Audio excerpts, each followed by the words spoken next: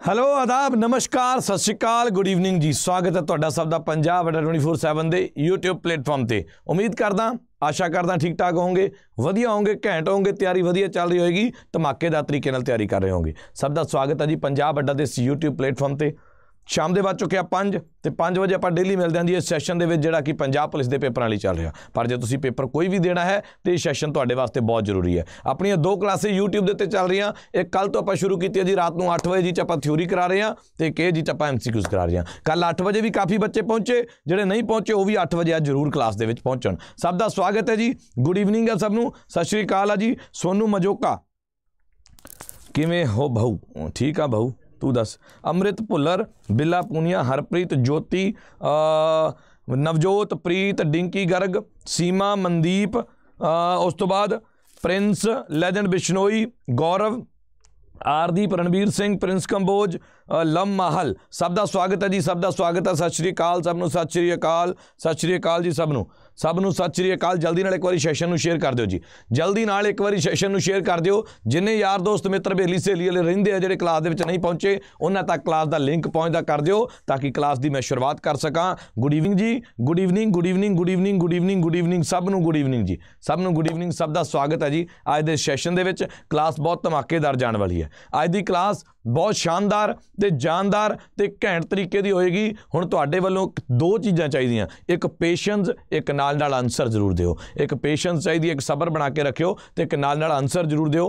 ਹਰੇਕ ਕੁਐਸਚਨ ਨੂੰ ਨੋਟ ਕਰ ਸਕਦੇ ਹੋ ਤਾਂ ਹੋਰ ਵਧੀਆ ਗੱਲ ਆ। ਸੋਨੇ ਤੇ ਸੁਹਾਗੇ ਵਾਲੀ ਗੱਲ ਆ ਜੀ। ਸਭ ਨੂੰ ਗੁੱਡ ਈਵਨਿੰਗ ਆ ਜੀ, ਸਭ ਨੂੰ ਗੁੱਡ ਈਵਨਿੰਗ ਆ। ਇੱਕ ਵਾਰੀ ਸੈਸ਼ਨ ਨੂੰ ਸ਼ੇਅਰ ਕਰ ਦਿਓ ਜੀ। ਜਿਨ੍ਹਾਂ ਨੇ ਹਾਲ ਤੱਕ ਸੈਸ਼ਨ ਨੂੰ ਸ਼ੇਅਰ ਨਹੀਂ ਕੀਤਾ, ਨਵਜੋਤ, ਹਰਪ੍ਰੀਤ, ਸਤਨਾਮ, ਰਾਜਵੀਰ, ਆਕਾਸ਼ਦੀਪ, ਰਵਿੰਦਰ, ਰਮਨ, ਕੋਮਲ, ਮਲਕੀਤ ਰਣਵੀਰ ਸੋਨੂ, ਮਧੂਬਾਲਾ ਉਸ ਤੋਂ ਬਾਅਦ ਸੀਮਾ ਗਿੱਲ ਗੋਲੂ ਨਵੂ ਲ ਮਹਲ, ਸਭ ਦਾ ਸਵਾਗਤ ਹੈ ਜੀ। ਸਭ ਦਾ ਸਵਾਗਤ ਹੈ ਜੀ, ਸਭ ਦਾ ਸਵਾਗਤ ਹੈ ਜੀ, ਸਭ ਦਾ ਸਵਾਗਤ ਹੈ ਜੀ। ਅੱਜ ਦੀ ਕਲਾਸ ਦੇ ਵਿੱਚ ਗੁੱਡ ਈਵਨਿੰਗ ਹੈ ਜੀ। ਸਭ ਨੂੰ ਗੁੱਡ ਈਵਨਿੰਗ ਹੈ ਜੀ, ਸਭ ਨੂੰ ਗੁੱਡ ਈਵਨਿੰਗ। ਕਰਦੇ ਹਾਂ ਜੀ ਕਲਾਸ ਦੀ ਸ਼ੁਰੂਆਤ ਫਿਰ ਆਪਾਂ। ਕਰਦੇ ਹਾਂ ਜੀ ਕਲਾਸ ਦੀ ਆਪਾਂ ਸ਼ੁਰੂਆਤ। ਜਲਦੀ ਦਿਨੇ ਆਜੋ ਸਾਰੇ ਜਣੇ, ਜੁੜ ਜਾਓ ਕਲਾਸ ਦੇ ਵਿੱਚ। ਜਲਦੀ ਦਿਨੇ ਫਿਰ ਕਰਦੇ ਹਾਂ ਜੀ ਕਲਾਸ ਦੀ ਆਪਾਂ ਸ਼ੁਰੂਆਤ। ਵੈਰੀ ਗੁੱਡ ਈਵਨਿੰਗ ਜੀ very good evening very good evening very good evening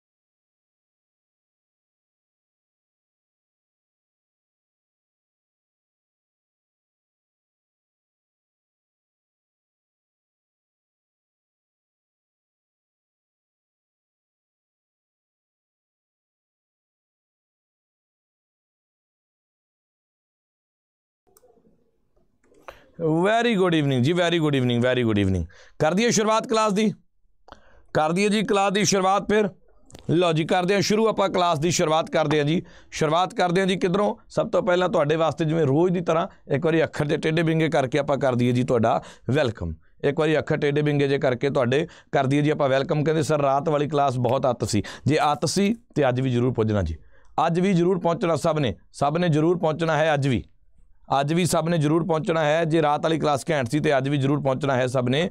good evening ਆ ਜੀ ਗੁੱਡ ਈਵਨਿੰਗ ਗੁੱਡ ਈਵਨਿੰਗ ਸਭ ਦਾ ਵੈਲਕਮ ਹੋ ਗਿਆ ਜੀ। ਉਸ ਤੋਂ ਬਾਅਦ ਅੱਡਾ 24/7 ਪੰਜਾਬ ਅੱਡਾ 24/7 ਦੇ ਚੈਨਲ ਨੂੰ ਸਬਸਕ੍ਰਾਈਬ ਕਰ ਲਓ। ਜਿਹੜੇ ਹੁਣ ਵੀਡੀਓ ਦੇਖ ਰਹੇ ਹੋ, ਇੱਕ ਵਾਰੀ ਨੀਚੇ ਦੇਖੋ ਸਬਸਕ੍ਰਾਈਬ ਵਾਲਾ ਬਟਨ ਹੈ। ਸਬਸਕ੍ਰਾਈਬ ਵਾਲਾ ਬਟਨ ਆਪਸ਼ਨ ਨੂੰ ਕਲਿੱਕ ਕਰ ਦਿਓ। ਚੈਨਲ ਨੂੰ ਸਬਸਕ੍ਰਾਈਬ ਕਰ ਲਿਓ ਤੇ ਨਾਲ ਨਾਲ ਐਪਲੀਕੇਸ਼ਨ ਨੂੰ ਡਾਊਨਲੋਡ ਕਰ ਲਿਓ, ਕਿਉਂਕਿ ਇਸੇ ਐਪਲੀਕੇਸ਼ਨ ਦੇ ਵਿੱਚ ਤੁਹਾਨੂੰ ਸਟੱਡੀ ਮਟੀਰੀਅਲ ਵਗੈਰਾ ਸਭ ਕੁਝ ਮਿਲ ਰਿਹਾ। ਇਸੇ ਐਪਲੀਕੇਸ਼ਨ ਦੇ ਵਿੱਚ ਸਭ ਕੁਝ ਤੁਹਾਨੂੰ ਪ੍ਰੋਵਾਈਡ ਹੋ ਰਿਹਾ ਜੀ। ਕਰਦੇ ਹਾਂ ਫਿਰ ਕਲਾਸ ਦੀ ਸ਼ੁਰੂਆਤ, ਪਰ ਉਸ ਤੋਂ ਪਹਿਲਾਂ ਤੁਹਾਡੇ ਵਾਸਤੇ ਚੰਦ ਲਾਈਨਾਂ ਅਗਰ ਆਪ ਬਹੁਤ ਮੁਸੀਬਤ ਸੇ ਗੁਜ਼ਰ ਰਹੇ ਹੋ अगर आप बहुत मुसीबत से गुजर रहे हो तो एक बात हमेशा याद रखना सितारे कभी भी अंधेरे के बिना नहीं ਚਮਕਤੇ ਹੈ ਕਹਿਣ ਦਾ ਮਤਲਬ ਇਹ ਹੈ ਵੀ ਜੇ ਤੁਸੀਂ ਬਹੁਤ ਮੁਸੀਬਤਾਂ ਦੇ ਵਿੱਚੋਂ ਗੁਜ਼ਰ ਰਹੇ ਹੋ ਤੇ ਹੌਸਲਾ ਨਾ ਛੱਡਿਓ ਕਿਉਂਕਿ ਮੁਸੀਬਤਾਂ ਤੋਂ ਬਿਨਾ ਕੋਈ ਵੀ ਬੰਦਾ ਮਹਾਨ ਨਹੀਂ ਹੁੰਦਾ ਨਾ ਹੀ ਮੁਸੀਬਤਾਂ ਦੇ ਵਿੱਚੋਂ ਨਿਕਲਣ ਤੋਂ ਬਾਅਦ ਜਿਹੜਾ ਬੰਦਾ ਮਤਲਬ ਕਾਮਯਾਬ ਹੁੰਦਾ ਉਹ ਮੁਸੀਬਤਾਂ ਦੇ ਵਿੱਚੋਂ ਜ਼ਰੂਰ ਨਿਕਲਦਾ ਇਹ ਗੱਲ ਕਲੀਅਰ ਆ ਜੀ ਚਲੋ ਹੁਣ ਚੱਲਦੇ ਹਾਂ ਆਪਾਂ ਸਟਾਰਟ ਕਰਦੇ ਹਾਂ ਇੱਕ ਵਾਰੀ ਲਿਖ ਦਿਓ ਜਲਦੀ ਨਾਲ ਜਲਦੀ ਨਾਲ ਲਿਖ ਦਿਓ ਕਮੈਂਟ ਬਾਕਸ ਦੇ ਵਿੱਚ ਰੈਡੀ ਸਟੱਡੀ ਗੋ ਲਿਖ ਦਿਓ ਜੀ ਰੈਡੀ ਸਟੱਡੀ ਗੋ ਤਾਂ ਕਿ ਮੈਂ ਕਰਦਾ ਸ਼ੁਰੂਆਤ ਕਲਾਸ ਦੀ। ਪਹਿਲਾ ਕੁਐਸਚਨ ਤੁਹਾਡੇ ਸਾਰਿਆਂ ਦੀਆਂ ਨਜ਼ਰਾਂ ਦੇ ਸਾਹਮਣੇ ਆਉਣ ਜਾ ਰਿਹਾ। ਧਮਾਕੇਦਾਰ ਤਰੀਕੇ ਦੇ ਨਾਲ, ਧਮਾਕੇਦਾਰ ਤਰੀਕੇ ਦੇ ਨਾਲ ਘੈਂਟ ਕੁਐਸਚਨ ਪਹਿਲਾ ਆ ਰਿਹਾ ਜੀ। ਇੱਕ ਵਾਰੀ ਲਿਖ ਦਿਓ ਰੈਡੀ ਸਟੱਡੀ ਗੋ ਪਰਦੇ ਖੁੱਲ ਗਏ। ਪਹਿਲਾ ਸਵਾਲ ਆ ਗਿਆ, ਭਾਰਤ ਦੇ ਕਿਹੜੇ ਸ਼ਹਿਰ ਵਿੱਚ ਪਹਿਲੀ ਵਾਰ ਫਾਰਮੂਲਾ 1 ਦੌੜ ਦਾ ਆਯੋਜਨ ਕੀਤਾ ਗਿਆ? ਫਾਰਮੂਲਾ 1 ਚੈਂਪੀਅਨਸ਼ਿਪ ਦਾ ਆਯੋਜਨ ਕਿਹੜੀ ਜਗ੍ਹਾ ਦੇ ਉੱਤੇ ਕੀਤਾ ਗਿਆ ਜੀ? ਮੁੰਬਈ, ਪੁਣੇ, ਨੋਇਡਾ ਜਾਂ ਫਰੀਦਾਬਾਦ? ਫਾਰਮੂਲਾ 1 ਚੈਂਪੀਅਨਸ਼ਿਪ, ਦੱਸੋ ਜੀ, ਪਹਿਲੀ ਵਾਰੀ ਭਾਰਤ ਦੇ ਵਿੱਚ ਜਿਹੜਾ ਕੀਤਾ ਗਿਆ ਸੀ, ਉਹ ਕਿਹੜੇ ਸ਼ਹਿਰ ਦੇ ਵਿੱਚ ਕੀਤਾ ਗਿਆ?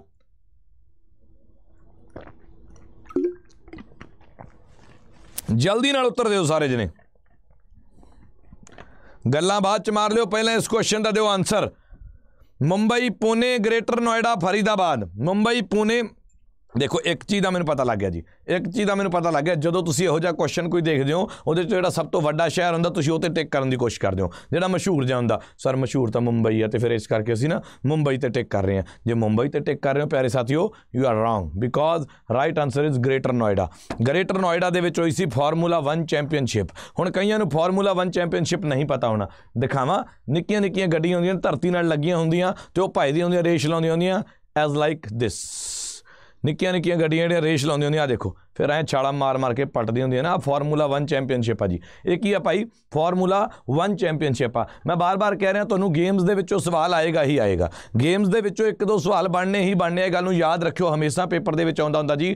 ਗ੍ਰੇਟਰ ਨੋਇਡਾ ਦੇ ਵਿੱਚ, ਪਹਿਲੀ ਵਾਰੀ ਭਾਰਤ ਦੇ ਵਿੱਚ ਜਿਹੜੀ ਫਾਰਮੂਲਾ 1 ਚੈਂਪੀਅਨਸ਼ਿਪ ਹੋਈ ਸੀ, ਕਿੱਥੇ ਹੋਈ ਸੀ ਜੀ? ਗ੍ਰੇਟਰ ਨੋਇਡਾ ਦੇ ਵਿੱਚ ਹੋਈ ਸੀ। ਕਹਿੰਦੇ ਤੁੱਕਾ ਸਹੀ ਹੋ ਗਿਆ, ਕਈਆਂ ਦਾ ਟੈਂਪੂ ਟੇਢਾ ਹੋ ਗਿਆ। ਕੋਈ ਗੱਲ ਨਹੀਂ ਜੀ, ਹੁਣ ਨੈਕਸਟ ਕੁਐਸਚਨ ਦੇਖਦੇ ਹਾਂ ਆਪਾਂ। ਨੈਕਸਟ ਕੁਐਸਚਨ ਕੀ ਕਹਿਣਾ ਚਾਹੁੰਦਾ? ਚਲੋ ਜੀ ਨੈਕਸਟ ਕੁਐਸਚਨ ਦੇ ਵੱਲ ਚੱਲਦੇ ਹਾਂ ਆਪਾਂ। ਚੰਦਰਮਾ ਤੇ ਭਾਰਤ ਦਾ ਪਹਿਲਾ ਮਿਸ਼ਨ ਚੰਦਰਯਾਨ 1 ਪਹਿਲਾ ਮਿਸ਼ਨ ਜਿਹੜਾ ਸੀ ਚੰਦਰਯਾਨ 1 ਉਹ ਕਿੱਥੋਂ ਸ਼ੁਰੂ ਹੋਇਆ ਸੀ ਜੀ? ਕਿੱਥੋਂ ਸ਼ੁਰੂ ਹੋਇਆ ਸੀ ਜੀ? ਸਾਰੇ ਜਣੇ ਦਿਓ ਆਨਸਰ ਉਹਦਾ ਆਨਸਰ ਕੀ ਹੋਊਗਾ ਜੀ? ਸ੍ਰੀ ਇਸਲਾਮ ਜਾਂ A B C D E ਕੀ ਆਊਗਾ ਜੀ ਉੱਤਰ? ਈ ਤਾਂ ਵੈਸੇ ਨਹੀਂ, A, B, C, D ਹੈ।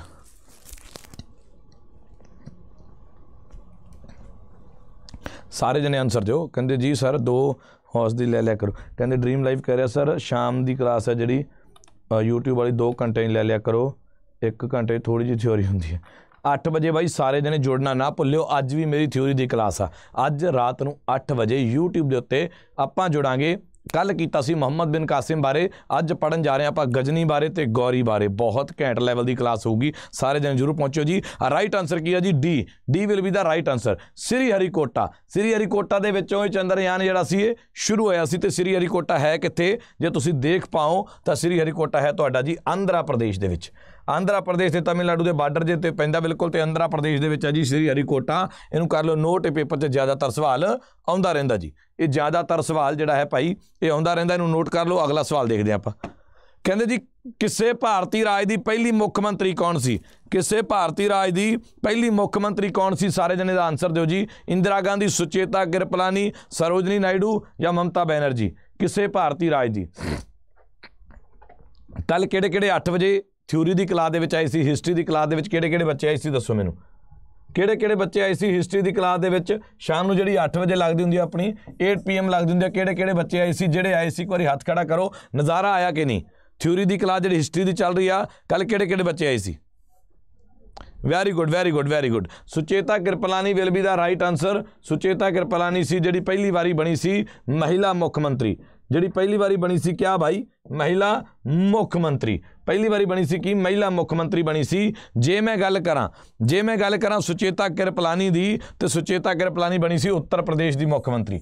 ਉੱਤਰ ਪ੍ਰਦੇਸ਼ ਦੀ ਮੁੱਖ ਮੰਤਰੀ। ਪਾਰਟੀ ਕਿਹੜੀ ਸੀ? INC Indian National Congress. ਜੇ ਮੈਂ ਗੱਲ ਕਰਾਂ ਜੀ, ਦੇਖੋ, ਇੱਥੇ ਜੈ ਲਲਿਤਾ ਜਲੇ ਜੈ ਲਲਿਤਾ ਬਣੀ ਸੀ ਤਾਮਿਲਨਾਡੂ ਦੀ। ਆਲ ਇੰਡੀਆ ਇਨ ਅੰਨਾ, ਦਰਾਵਿੜਾ ਮਤਲਬ ਇਹ ਅਲੱਗ ਬਣੀ ਸੀ। ਜੇ ਮਾਇਆਵਤੀ ਦੀ ਗੱਲ ਕਰੀਏ, ਇਹ ਵੀ ਉੱਤਰ ਪ੍ਰਦੇਸ਼ ਦੀ ਬਣੀ ਸੀ। ਪਹਿਲੀ ਵਾਰੀ ਮ- ਮਹਿਲਾ ਜਿਹੜੀ ਮੁੱਖ ਮੰਤਰੀ ਸੀਗੀ, ਸੁਸ਼ਮਾ ਸਵਰਾਜ ਦਿੱਲੀ ਦੀ ਬਣੀ ਸੀ ਤੇ ਸ਼ੀਲਾ ਦੀਕਸ਼ਿਤ ਦਿੱਲੀ ਦੀ ਬਣੀ ਸੀ। ਤੇ ਪੰਜਾਬ ਦੀ ਮਹਿਲਾ ਮੁੱਖ ਮੰਤਰੀ ਦੀ ਗੱਲ ਕਰਾਂ ਤਾਂ ਰਜਿੰਦਰ ਕੌਰ ਪੱਠਲ ਪੰਜਾਬ ਦੀ ਮਹਿਲਾ ਮੁੱਖ ਮੰਤਰੀ ਕੌਣ ਬਣੀ ਸੀ ਭਾਈ? ਰਜਿੰਦਰ ਕੌਰ ਭੱਠਲ, ਰਜਿੰਦਰ ਕੌਰ ਭੱਠਲ ਬਣੀ ਸੀ ਪੰਜਾਬ ਦੀ ਪਹਿਲੀ ਮਹਿਲਾ ਮੁੱਖ ਮੰਤਰੀ, ਉਸ ਤੋਂ ਬਾਅਦ ਨਹੀਂ ਬਣੀ। ਯੈਸ ਔਰ ਨੋ ਨਜ਼ਾਰਾ ਆ ਰਿਹਾ ਤੇ ਇੱਕ ਵਾਰੀ ਲਾਈਕ ਵਾਲਾ ਬਟਨ ਦਬਾ ਦਿਓ 400 ਬੱਚਾ ਵੇਖ ਰਿਹਾ ਤੇ 206 ਲਾਈਕ ਹੋਏ ਹਾਲ ਤੱਕ। ਲਾਈਕ ਵਾਲਾ ਬਟਨ ਜਲਦੀ ਨਾਲ ਦਬਾ ਦਿਓ ਤਾਂ ਕਿ ਸਾਰੇ ਬੱਚੇ ਲਾਈਕ ਕਰ ਦਿਓ ਲਾਈਕ ਤੇ ਲਾਈਕ ਬਰਾਬਰ ਹੋਣੇ ਚਾਹੀਦੇ ਆ। ਇਹ ਸਕਰੀਨਸ਼ਾਟ ਮਾਰ ਲਓ, ਇਹ ਪੇਪਰ 'ਚ ਸਵਾਲ ਆਉਂਦਾ ਹੁੰਦਾ। ਇਹ ਬਹੁਤ ਘੈਂਟ ਚਾਰਟ ਆ ਭਾਈ। ਇਹ ਬਹੁਤ ਘੈਂਟ ਚਾਰਟ ਆ। ਪੰਜਾਬ ਦੀ ਕੌਣ ਸੀ? ਰਜਿੰਦਰ ਕੌਰ ਭੱਠਲ ਤੇ ਸੁਚੇਤਾ ਕਿਰਪਲਾਨੀ ਕਿੱਥੋਂ ਦੀ ਹੈ ਜੀ? ਉੱਤਰ ਪ੍ਰਦੇਸ਼ ਦੇ ਵਿੱਚ ਪਹਿਲੀ ਵਾਰੀ ਮੁੱਖ ਮੰਤਰੀ ਬਣੀ ਸੀ ਮਹਿਲਾ ਰੂਪ ਦੇ ਵਿੱਚ। ਭਾਰਤ ਦੇ ਕਿਹੜੇ ਰਾਜ ਵਿੱਚ ਸਭ ਤੋਂ ਪਹਿਲਾਂ ਸੂਰਜ ਚੜ੍ਹਦਾ ਹੈ? ਭਾਰਤ ਦੀ ਕਿਹੜੀ ਸਟੇਟ ਦੇ ਵਿੱਚ ਸਭ ਤੋਂ ਪਹਿਲਾਂ ਸੂਰਜ ਚੜ੍ਹਦਾ ਹੈ? ਸਭ ਤੋਂ ਪਹਿਲਾਂ ਦੇਖੋ, ਇਸ ਕੁਐਸਚਨ ਦਾ ਆਨਸਰ ਕਰਨ ਦਾ ਤਰੀਕਾ ਦੱਸਦਾ ਕੀ ਹੋਊਗਾ, ਦੇਖੋ। ਇਸ ਕੁਐਸਚਨ ਨੂੰ ਆਨਸਰ ਕਰਨ ਦਾ ਤਰੀਕਾ। ਪਹਿਲਾਂ ਤਾਂ ਪਤਾ ਹੋਣਾ ਚਾਹੀਦਾ, ਇਧਰ ਨਾਰਥ ਆ ਜੀ, ਇਧਰ ਸਾਊਥ ਆ ਜੀ। ਇਧਰ ਈਸਟ ਆ ਜੀ ਤੇ ਇਧਰ ਵੈਸਟ ਆ। ਜੇ ਐ ਪਤਾ ਗਾ ਨਾ, ਫਿਰ ਉਹਨੂੰ ਐ ਪਤਾ ਲੱਗ ਜੂਗਾ ਵੀ ਈਸਟ ਵਾਲੇ ਪਾਸਿਓਂ ਸੂਰਜ ਚੱਲਦਾ। ਸੂਰਜ ਕਿਧਰੋਂ ਚੱਲਦਾ ਚੜਦਾ ਜੀ? ਪੂਰਬ ਵਾਲੇ ਪਾਸਿਓਂ ਈਸਟ ਵਾਲੇ ਪਾਸਿਓਂ ਤੇ ਈਸਟ ਵਾਲੀ ਸਟੇਟ ਹੋਊਗਾ ਤੁਹਾਡਾ ਸਭ ਦਾ ਉੱਤਰ। ਈਸਟ ਵਾਲੀ ਸਟੇਟ ਹੋਊਗਾ ਤੁਹਾਡਾ ਸਭ ਦਾ ਉੱਤਰ ਤੇ ਵੈਰੀ ਗੁੱਡ ਵੈਲ ਡਨ ਸਭ ਦਾ ਆਨਸਰ ਕੀ ਆ ਰਿਹਾ ਜੀ? ਸਭ ਦਾ ਆਨਸਰ ਆ ਰਿਹਾ ਭਾਈ ਅਰੁਣਾਚਲ ਪ੍ਰਦੇਸ਼, ਬਿਲਕੁਲ ਸਹੀ ਗੱਲ ਹੈ ਜੀ। ਬਿਲਕੁਲ ਸਹੀ ਗੱਲ ਹੈ ਪਹਿਲੀ ਵਾਰੀ ਸਭ ਤੋਂ ਪਹਿਲਾਂ ਭਾਰਤ ਦੇ ਵਿੱਚ ਸੂਰਜ ਕਿਹੜੀ ਸਟੇਟ ਤੋਂ ਚੜਦਾ ਜੀ? ਅਰੁਣਾਚਲ ਪ੍ਰਦੇਸ਼ ਦੇ ਵਿੱਚੋਂ ਚੜਦਾ ਸੂਰਜ, ਹੈ ਨਾ? ਸੂਰਜ ਕਿੱਥੋਂ ਚੜਦਾ ਜੀ? ਅਰੁਣਾਚਲ ਪ੍ਰਦੇਸ਼ ਦੇ ਵਿੱਚੋਂ ਤੇ ਸੂਰਜ ਜਿਹੜਾ ਹੈ, ਜੇ ਤੁਹਾਨੂੰ ਪੁੱਛੇ ਸਭ ਤੋਂ ਲੇਟ ਕਿਹੜੀ ਸਟੇਟ ਦੇ ਵਿੱਚ ਡੁੱਬਦਾ? ਉਹ ਆ ਜੀ ਗੁਜਰਾਤ ਦੇ ਵਿੱਚ। ਸਭ ਤੋਂ ਲੇਟ ਕਿਹੜੀ ਸਟੇਟ ਦੇ ਵਿੱਚ ਡੁੱਬਦਾ ਪਿਆਰੇ ਸਾਥੀਓ? ਗੁਜਰਾਤ ਦੇ ਵਿੱਚ, ਹੈ ਨਾ? ਗੁਜਰਾਤ ਦੇ ਸਭ ਤੋਂ ਲੇਟ ਡੁੱਬਦਾ ਤੇ ਸਭ ਤੋਂ ਪਹਿਲਾਂ ਚੜਦਾ ਕਿੱਥੋਂ ਆ ਜੀ? ਅਰੁਣਾਚਲ ਪ੍ਰਦੇਸ਼ ਦੇ ਵਿੱਚੋਂ। ਵੀ ਚੜਦੇ ਸੂਰਜ ਢਲਦੇ ਵੇਖੇ, ਬੁੱਝਦੇ ਦੀਵੇ ਬਲਦੇ ਵੇਖੇ, ਜਿਨ੍ਹਾਂ ਦਾ ਨਾ ਕੋਈ ਜੱਗ ਤੇ ਸਾਨੀ, ਉਹ ਵੀ ਪੁੱਤਰ ਪਲਦੇ ਵੇਖੇ। ਉਹਦੀ ਰਹਿਮਤ ਨਾਲ ਮੈਂ ਤਾਂ ਬੰਦੇ ਪਾਣੀ ਤੇ ਚੱਲਦੇ ਵੇਖੇ। ਲੋਕੀ ਕਹਿੰਦੇ, ਦਾਲ ਨਹੀਂ ਗਲਦੀ, ਮੈਂ ਤੇ ਪੱਥਰ ਗਲਦੇ ਵੇਖੇ। ਕਈ ਪੈਰਾਂ ਤੋਂ ਨੰਗੇ ਤੇ ਸਿਰ ਤੇ ਲੱਭਣ ਛਾਵਾਂ। ਮੈਨੂੰ ਦਾਤੇ ਸਭ ਕੁਝ ਦਿੱਤਾ, ਮੈਂ ਕਿਉਂ ਨਾ ਸ਼ੁਕਰ ਮਨਾਵਾਂ? ਮੈਨੂੰ ਦਾਤੇ ਸਭ ਕੁਝ ਦਿੱਤਾ, ਮੈਂ ਕਿਉਂ ਨਾ ਸ਼ੁਕਰ ਮਨਾਵਾਂ? ਇਹ ਗੱਲ ਹੋਰ ਯਾਦ ਰੱਖਿਓ, ਜਿਹੜਾ ਉਗਤੇ ਸੂਰਜ ਦਾ ਦੇਸ਼, ਚੜ੍ਹਦੇ ਸੂਰਜ ਦਾ ਦੇਸ਼ ਕਿਸ ਨੂੰ ਕਿਹਾ ਜਾਂਦਾ? ਜਾਪਾਨ ਨੂੰ ਕਿਹਾ ਜਾਂਦਾ ਜੀ, ਚੜ੍ਹਦੇ ਸੂਰਜ ਦਾ ਦੇਸ਼ ਕਿਸ ਨੂੰ ਕਿਹਾ ਜਾਂਦਾ? ਜਾਪਾਨ ਕੋ ਬੋਲਾ ਜਾਂਦਾ ਹੈ ਪਿਆਰੇ ਸਾਥੀਓ। ਜਾਪਾਨ ਕੋ ਬੋਲਾ ਜਾਂਦਾ ਹੈ। ਸਭ ਤੋਂ ਲੇਟ ਗੁਜਰਾਤ ਚ, ਸਭ ਤੋਂ ਪਹਿਲਾਂ ਭਾਰਤ ਦੇ ਵਿੱਚ ਕਿੱਥੇ? ਅਰੁਣਾਚਲ ਚ। ਲੋ ਜੀ, ਭਾਰਤ ਦਾ ਪਹਿਲਾ ਮੁੱਖ ਚੋਣ ਕਮਿਸ਼ਨਰ ਕੌਣ ਸੀ? ਵੈਰੀ ਗੁੱਡ ਬਿਲਕੁਲ ਸਿੰਪਲ ਕੁਐਸਚਨ ਬਿਲਕੁਲ ਸਿੰਪਲ ਕੁਐਸਚਨ ਇੱਕ ਵਾਰੀ ਲਾਈਕ ਵਾਲਾ ਬਟਨ ਦਬਾਓ। ਬਿਲਕੁਲ ਚੂਰਨ ਸਵਾਲ ਹੈ, ਬਿਲਕੁਲ ਰਸਗੁੱਲਾ ਸਵਾਲ ਹੈ ਜੀ। ਬਿਲਕੁਲ rasgulla question rasgulla type question ਆ ਗਿਆ ਜੀ ਤੁਹਾਡੇ ਸਾਹਮਣੇ ਸਾਰਿਆਂ ਦੇ। ਦਿਓ ਜੀ ਇਹਦਾ ਉੱਤਰ ਕੀ ਹੈ ਜੀ? ਭਾਰਤ ਦਾ ਪਹਿਲਾ ਚੋਣ ਕਮਿਸ਼ਨਰ ਕੌਣ ਸੀ? ਇੰਡੀਆ ਦਾ ਪਹਿਲਾ ਚੋਣ ਕਮਿਸ਼ਨਰ ਕਹਿਣ ਦਾ ਮਤਲਬ ਜੀ ਇਲੈਕਸ਼ਨ ਕਮਿਸ਼ਨਰ ਕੌਣ ਸੀ? ਭਾਰਤ ਦਾ ਪਹਿਲਾ ਜਿਹੜਾ ਸੀਗਾ ਜੀ ਫਸਟ ਪਹਿਲਾਂ ਤਾਂ ਤੁਹਾਨੂੰ ਇਹ ਪਤਾ ਹੋਣਾ ਚਾਹੀਦਾ ਆਰਟੀਕਲ ਨੰਬਰ 324 ਦੇ ਵਿੱਚ ਹੈ ਜੀ election commission election commission article number 324 ਦੇ ਵਿੱਚ ਹੈ ਤੇ ਸੂ ਕੁਮਾਰ ਸੇਨ ਪਹਿਲਾ ਸੀਗਾ ਭਾਈ ਆਪਣਾ ਇਲੈਕਸ਼ਨ ਕਮਿਸ਼ਨਰ ਭਾਰਤ ਦਾ। ਪਹਿਲਾ ਇਲੈਕਸ਼ਨ ਕਮਿਸ਼ਨਰ ਕੌਣ ਸੀਗਾ ਭਾਰਤ ਦਾ ਜੀ? ਸੂ ਕੁਮਾਰ ਸੇਨ ਸੀਗਾ। ਜਿਹਨੇ ਲਾਈਕ ਨਹੀਂ ਕੀਤਾ, ਜਲਦੀ ਨਾਲ ਲਾਈਕ ਵਾਲਾ ਬਟਨ ਦਬਾਓ। 420 ਬੱਚੇ ਵੇਖ ਰਿਹਾ ਤੇ 254 ਨੇ ਲਾਈਕ ਕੀਤਾ, ਜਲਦੀ ਨਾਲ ਲਾਈਕ ਵਾਲਾ ਬਟਨ ਦਬਾ ਦਿਓ। ਕਹਿੰਦੇ ਖੇਤਰਫਲ ਦੇ ਲਿਹਾਜ਼ ਨਾਲ ਭਾਰਤ ਦਾ ਸਭ ਤੋਂ ਛੋਟਾ ਕੇਂਦਰ ਸ਼ਾਸਿਤ ਪ੍ਰਦੇਸ਼ ਕਿਹੜਾ? ਭਾਰਤ ਦਾ ਸਭ ਤੋਂ ਛੋਟਾ ਕੇਂਦਰ ਸ਼ਾਸਿਤ ਪ੍ਰਦੇਸ਼ ਕਿਹੜਾ ਭਾਈ? ਲੱਦਾਖ, ਜੰਮੂ ਐਂਡ ਕਸ਼ਮੀਰ ਕਸ਼ਮੀਰ, ਲਕਸ਼ਦੀਪ ਜਾਂ ਦਮਨ ਐਂਡ ਦਿਊ? ਸਭ ਦਾ ਉੱਤਰ ਸਹੀ ਹੋਣਾ ਚਾਹੀਦਾ, ਇਹ ਕੁਐਸਚਨ ਬਹੁਤ ਇੰਪੋਰਟੈਂਟ ਆ ਜੀ। ਇਹ ਕੁਐਸਚਨ ਮੋਸਟ ਇੰਪੋਰਟੈਂਟ ਆ ਜੀ ਮੋਸਟ ਇੰਪੋਰਟੈਂਟ ਐਮਆਈ ਸਵਾਲ ਆ। ਇਹ ਐਮਆਈ ਸਵਾਲ ਆ, ਸਭ ਦਾ ਜਵਾਬ ਆ ਜੇ ਵੀ ਖੇਤਰਪਾਲ ਦੇ ਲਿਹਾਜ਼ ਨਾਲ ਮੈਂ ਦੇਖਾਂ, ਭਾਰਤ ਦਾ ਸਭ ਤੋਂ ਛੋਟਾ ਕੇਂਦਰ ਸ਼ਾਸਿਤ ਪ੍ਰਦੇਸ਼ ਕਿਹੜਾ? ਵੱਡਾ ਵੀ ਦੱਸਾਂਗੇ, ਛੋਟਾ ਵੀ ਦੱਸਾਂਗੇ, ਸਭ ਤੋਂ ਵੱਡੀ ਸਟੇਟ ਵੀ ਦੱਸਾਂਗੇ, ਛੋਟੀ ਸਟੇਟ ਵੀ ਦੱਸਾਂਗੇ, ਪਰ ਇੱਕ ਵਾਰੀ ਇਸ ਕੁਐਸਚਨ ਦਾ ਆਨਸਰ ਦਿਓ ਜੀ, ਸਾਰੇ ਜਣੇ।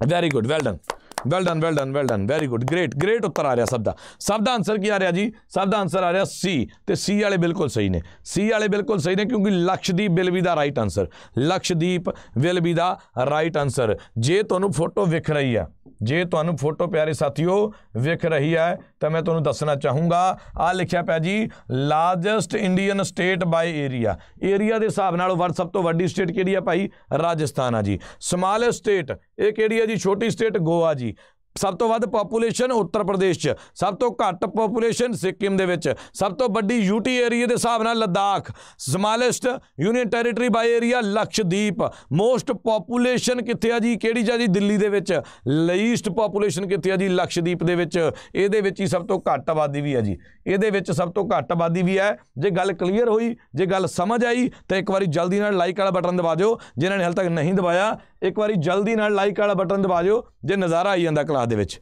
ਜਲਦੀ ਨਾਲ।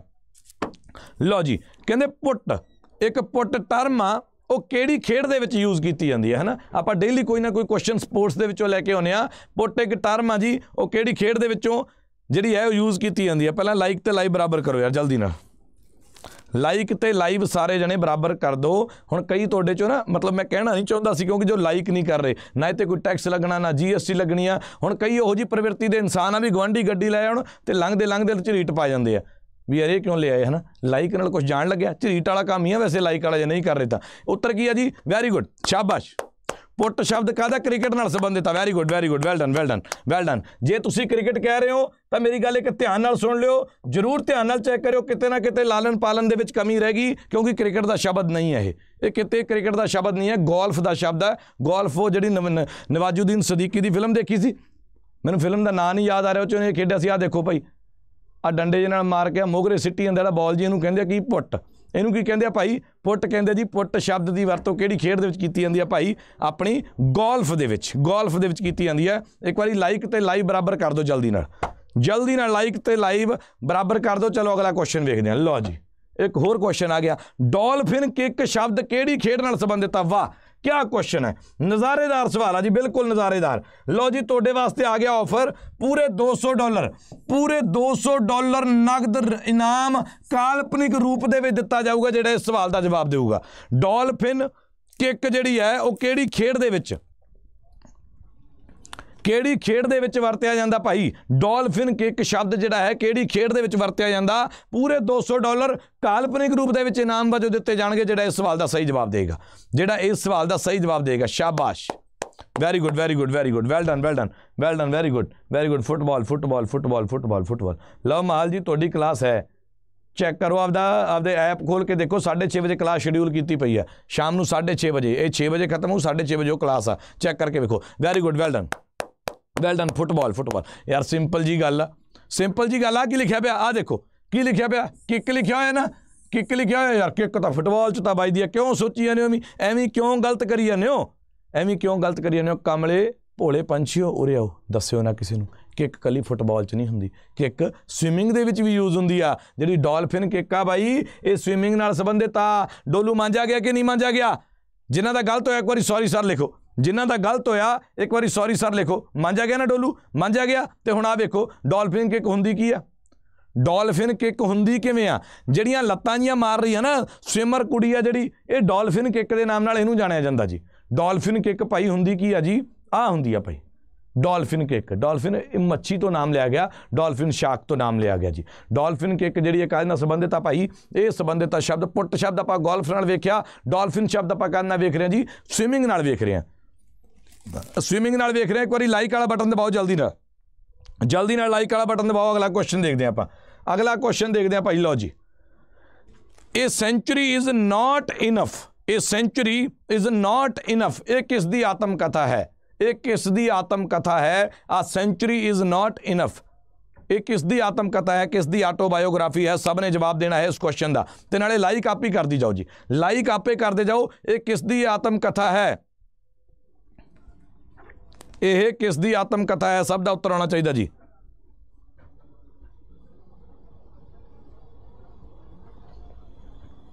ਸਭ ਦਾ ਆਨਸਰ ਆਉਣਾ ਚਾਹੀਦਾ ਜੀ। ਕੀ ਆਨਸਰ ਆ ਰਿਹਾ ਜੀ ਬੱਚਿਆਂ ਦਾ? ਕਹਿੰਦੇ, ਸਰ, ਤੈਂਦੁਲਕਰ ਗਲਤ ਹੈ। ਤੈਂਦੁਲਕਰ ਨਹੀਂ, ਸੌਰਵ ਗਾਂਗੁਲੀ ਦੀ ਆਤਮ ਕਥਾ ਹੈ। ਸੌਰਵ ਗਾਂਗੁਲੀ ਦੀ ਆਤਮ ਕਥਾ ਹੈ ਆ century is not enough century is not enough ਕਿਸ ਦੀ ਆਤਮ ਕਥਾ ਹੈ ਭਾਈ? ਸੌਰਵ ਗਾਂਗੁਲੀ ਦੀ। ਸੌਰਵ ਗਾਂਗੁਲੀ ਭਾਰਤ ਦਾ ਕਪਤਾਨ ਹੈ ਨਾ, ਇਹਨੂੰ ਸਫਲ ਕਪਤਾਨਾਂ ਦੇ ਵਿੱਚ ਇੱਕੋ ਕਹਿੰਦਾ ਤੇ ਕਈ ਵਾਰੀ ਪੇਪਰ 'ਚ ਸਵਾਲ ਆ ਗਿਆ, ਦਾਦਾ ਦੇ ਨਾਮ ਨਾਲ ਕਿਹੜੇ ਖਿਡਾਰੀ ਨੂੰ ਜਾਣਿਆ ਜਾਂਦਾ? ਦਾਦਾ ਵੀ ਇਹਨੂੰ ਕਿਹਾ ਜਾਂਦਾ ਜੀ।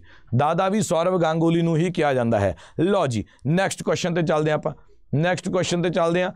ਕਹਿੰਦੇ ਰਾਸ਼ਟਰੀ ਰਾਜਮਾਰਗ 18 ਨੈਸ਼ਨਲ ਹਾਈਵੇ 18 ਇਹਨਾਂ ਵਿੱਚੋਂ ਕਿਹੜੇ ਰਾਜ ਵਿੱਚੋਂ ਨਹੀਂ ਲੰਘਦਾ? ਇਹਨਾਂ ਵਿੱਚੋਂ ਕਿਹੜੀ ਸਟੇਟ ਦੇ ਵਿੱਚੋਂ ਨਹੀਂ ਗੁਜ਼ਰਦਾ? ਨੈਸ਼ਨਲ ਹਾਈਵੇ 18 ਕਿਹੜੀ ਸਟੇਟ ਦੇ ਵਿੱਚੋਂ ਨਹੀਂ ਗੁਜ਼ਰਦਾ? ਇਹਨੂੰ ਐਲੀਮੀਨੇਟ ਕਰਨਾ ਸਿੱਖੋ। ਇਹਨੂੰ ਐਲੀਮੀਨੇਟ ਕਰਨਾ ਸਿੱਖੋ ਜੀ। ਵੈਸਟ ਬੰਗਾਲ ਗੁਜ਼ਰਦਾ।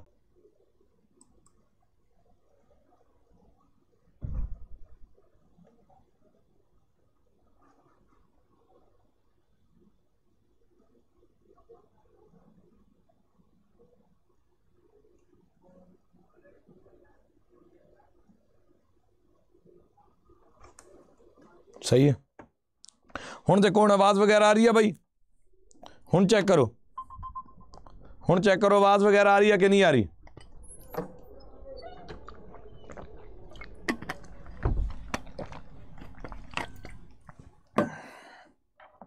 ਆਵਾਜ਼ ਵਗੈਰਾ ਆ ਰਹੀ ਹੈ ਜਾਂ ਨਹੀਂ ਆ ਰਹੀ ਚਲੋ ਪ੍ਰੋਪਰ ਆ ਰਹੀ ਹੈ ਵੀਡੀਓ ਵੀਡੀਓ ਪ੍ਰੋਪਰ ਦਿਖ ਰਹੀ ਹੈ ਜੀ ਚਲੋ ਕਹਿੰਦੇ ਮੈਂ ਆਪਦੇ ਫੋਨ ਤੇ ਗੁੱਸਾ ਕੱਢੀ ਜਾਣਾ ਤੁਹਾਡੇ ਫੋਨ ਦੀ ਦਿੱਕਤ ਨਹੀਂ ਸੀ, ਇੱਥੋਂ ਹੀ ਕੋਈ OBS ਡਿਸਕਨੈਕਟ ਹੋ ਗਿਆ ਸੀ ਆਪਣੇ ਆਪ ਚੱਲਦਾ ਚੱਲਦਾ ਹੀ। ਚਲੋ ਚੱਲਦੇ ਆਪਾਂ ਨੈਕਸਟ ਕੁਐਸਚਨ ਤੇ। ਨੈਕਸਟ ਕੁਐਸਚਨ ਦੇਖੋ ਜੀ, ਪਹਿਲੀ ਐਂਗਲੋ ਸਿੱਖ ਜੰਗ ਦੌਰਾਨ, ਪਹਿਲੀ ਐਂਗਲੋ ਸਿੱਖ ਵਾਰ ਜਿਹੜੀ ਹੋਈ ਸੀ ਭਾਈ, ਉਹਦੇ ਵਿੱਚ ਭਾਰਤ ਦਾ ਗਵਰਨਰ ਜਨਰਲ ਕੌਣ ਸੀ?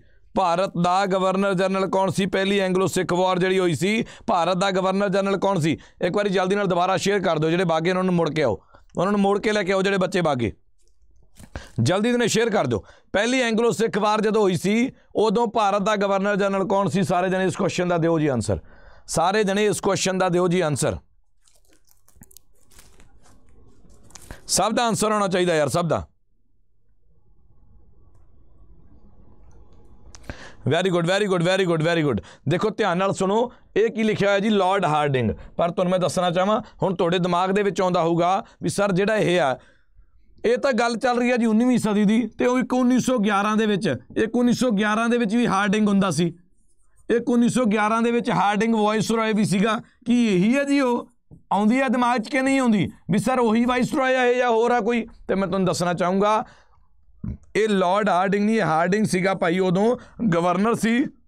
ਇਸੇ ਦਾ ਪੋਤਾ ਇਹ ਹੈ ਇਸੇ ਦਾ ਪੋਤਾ ਇਹ ਆ ਜੀ, ਇਸੇ ਦਾ ਪੋਤਾ ਕੌਣ ਆ? ਲਾਰਡ ਹਾਰਡਿੰਗ ਇਸੇ ਦਾ ਪੋਤਾ ਸੀਗਾ ਜੀ ਲਾਰਡ ਹਾਰਡਿੰਗ ਇਹਨੂੰ ਕਰ ਲਓ ਨੋਟ ਤੇ 1800 ਜੇ ਮੈਂ ਗਲਤ ਨਾ ਵਾਂ, ਤੇ ਆਈ ਥਿੰਕ 50 ਦੇ ਨੇੜੇ ਤੇੜੇ ਹੋਈ ਸੀ ਨਾ?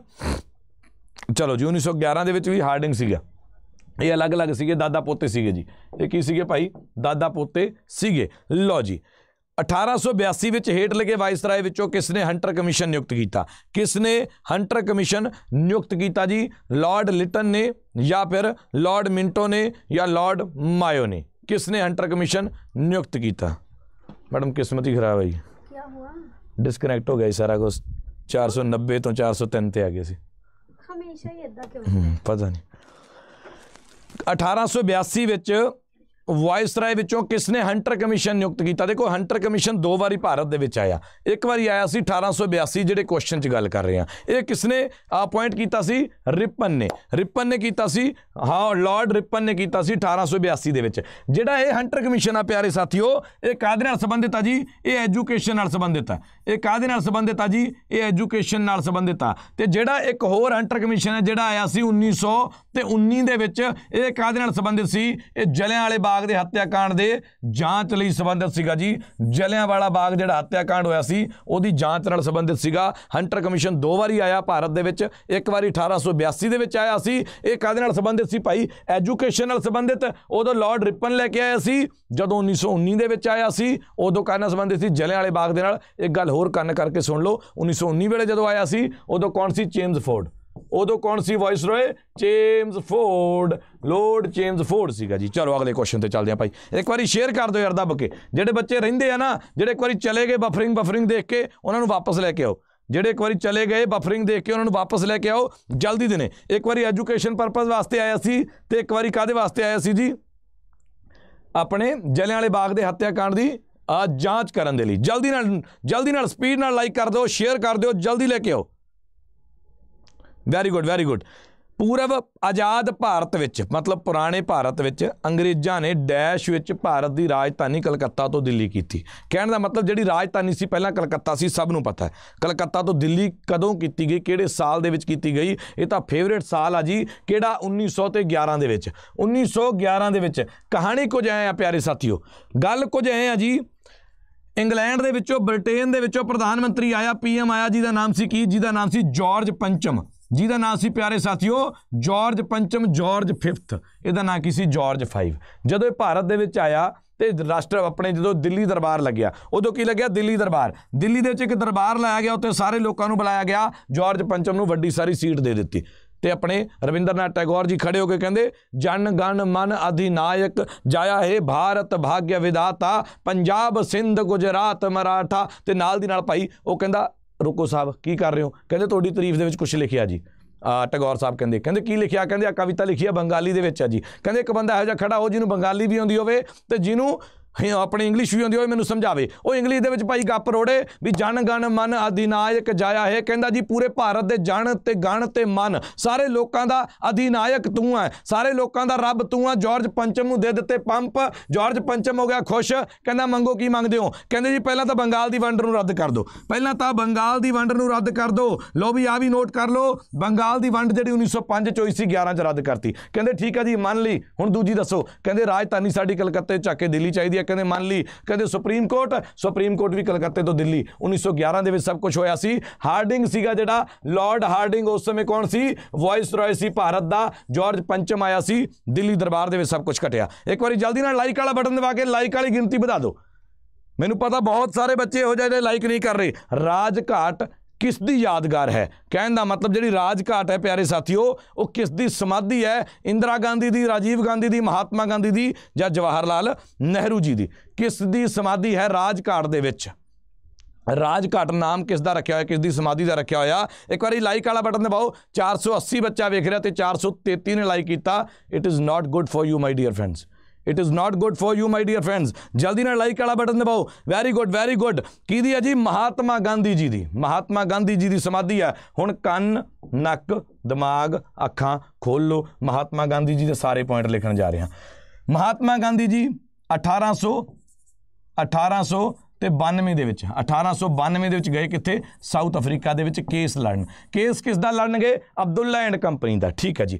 1894 ਦੇ ਵਿੱਚ 1893 94 ਦੇ ਵਿੱਚ ਇੰਡੀਅਨ ਨਟਾਲ ਕਾਂਗਰਸ ਦੀ ਸਥਾਪਨਾ ਕੀਤੀ। ਨਟਾਲ ਕਾਂਗਰਸ ਦੀ ਸਥਾਪਨਾ ਕੀਤੀ ਮਹਾਤਮਾ ਗਾਂਧੀ ਜੀ ਨੇ, ਉੱਥੇ ਵਿਦੇਸ਼ ਦੇ ਵਿੱਚ, ਠੀਕ ਹੈ ਜੀ। 9 ਜਨਵਰੀ 9 ਜਨਵਰੀ 1915 ਨੂੰ ਮਹਾਤਮਾ ਗਾਂਧੀ ਜੀ ਭਾਰਤ ਦੇ ਵਿੱਚ ਵਾਪਸ ਆ ਗਏ। ਇਸੇ 9 ਜਨਵਰੀ ਨੂੰ ਕੀ ਕਿਹਾ ਜਾਂਦਾ? ਐਨ ਆਰ ਆਈ ਡੇ ਪ੍ਰਵਾਸੀ ਭਾਰਤੀ ਦਿਵਸ ਦੇ ਤੌਰ ਤੇ ਮਨਾਇਆ ਜਾਂਦਾ। ਠੀਕ ਹੈ ਜੀ? ਉਸ ਤੋਂ ਬਾਅਦ ਮਹਾਤਮਾ ਗਾਂਧੀ ਜੀ ਨੇ 1917 ਦੇ ਵਿੱਚ ਚੰਪਾਰਨ ਦਾ ਸੱਤਿਆਗ੍ਰਹਿ ਕੀਤਾ। 1918 ਦੇ ਵਿੱਚ ਖੇੜਾ ਦਾ ਸੱਤਿਆਗ੍ਰਹਿ ਕੀਤਾ। 1918 ਉਸੇ ਸਾਲ ਦੇ ਵਿੱਚ ਅਹਿਮਦਾਬਾਦ ਮਿਲ ਸੱਤਿਆਗ੍ਰਹਿ ਕੀਤਾ। ਠੀਕ ਹੈ ਜੀ? 1920 ਦੇ ਵਿੱਚ 1920 ਦੇ ਵਿੱਚ ਨਾਨ ਕੋਆਪਰੇਸ਼ਨ ਮੂਵਮੈਂਟ ਜਿਹਨੂੰ ਐਨਸੀਐਮ ਕਹਿੰਦੇ ਆ, ਉਹ ਕੀਤੀ। 1922 ਦੇ ਵਿੱਚ ਨਾਨ ਕੋਆਪਰੇਸ਼ਨ ਮੂਵਮੈਂਟ ਖਤਮ ਹੋ ਗਈ। ਠੀਕ ਹੈ ਜੀ? ਉਸ ਤੋਂ ਬਾਅਦ ਕੀ ਯਾਦ ਰੱਖੋਗੇ? ਮਹਾਤਮਾ ਗਾਂਧੀ ਜੀ ਨੇ ਨਾਈਟਹੁੱਡ ਦੀ ਉਪਾਧੀ ਸੌਰੀ ਕੇਸਰੇ ਹਿੰਦ ਦੀ ਉਪਾਧੀ ਤਿਆਗ ਦਿੱਤੀ ਜਦੋਂ ਜਲਿਆਂਵਾਲੇ ਬਾਗ ਦਾ ਹੱਤਿਆਕਾਂਡ ਹੋਇਆ। ਇੱਕ ਵਾਰੀ ਹੁਣ ਲਾਈਕ ਕਰਨਾ ਬਣਦਾ। ਨਾਲੇ ਗਿਣਤੀ 500 ਪਾਰ ਕਰੋ ਤੇ ਨਾਲ ਲਾਈਕ ਵਾਲਾ ਬਟਨ ਦਬਾਓ ਜਲਦੀ ਨਾਲ। ਆਪਾਂ ਅਗਲਾ ਕੁਐਸਚਨ ਦੇਖਦੇ ਹਾਂ। ਧਮਾਕੇਦਾਰ ਤਰੀਕੇ ਨਾਲ ਅਗਲਾ ਸਵਾਲ ਫੇਰ ਆ ਰਿਹਾ। ਲਓ ਜੀ। ਚੰਦਰਮਾ ਤੇ ਇੱਕ ਵਸਤੂ ਦਾ ਭਾਰ ਹੈ। ਧਰਤੀ ਉੱਤੇ ਇਸ ਦੇ ਭਾਰ ਦੇ ਕਿੰਨਾ ਬਰਾਬਰ ਹੈ ਜੀ? ਜਿਹੜਾ ਧਰਤੀ ਉੱਤੇ ਭਾਰ ਆ ਕਿਸੇ ਦਾ, ਉਹ ਚੰਦਰਮਾ ਦੇ ਉੱਤੇ ਜਾ ਕੇ ਕਿੰਨਾ ਬਰਾਬਰ ਰਹਿ ਜਾਂਦਾ? ਕਹਿਣ ਦਾ ਮਤਲਬ ਇਸ ਸਵਾਲ ਦੇ ਉੱਤੇ ਇਨਾਮ ਬੰਦਾ ਪੂਰੇ 200 ਡਾਲਰ ਦਾ।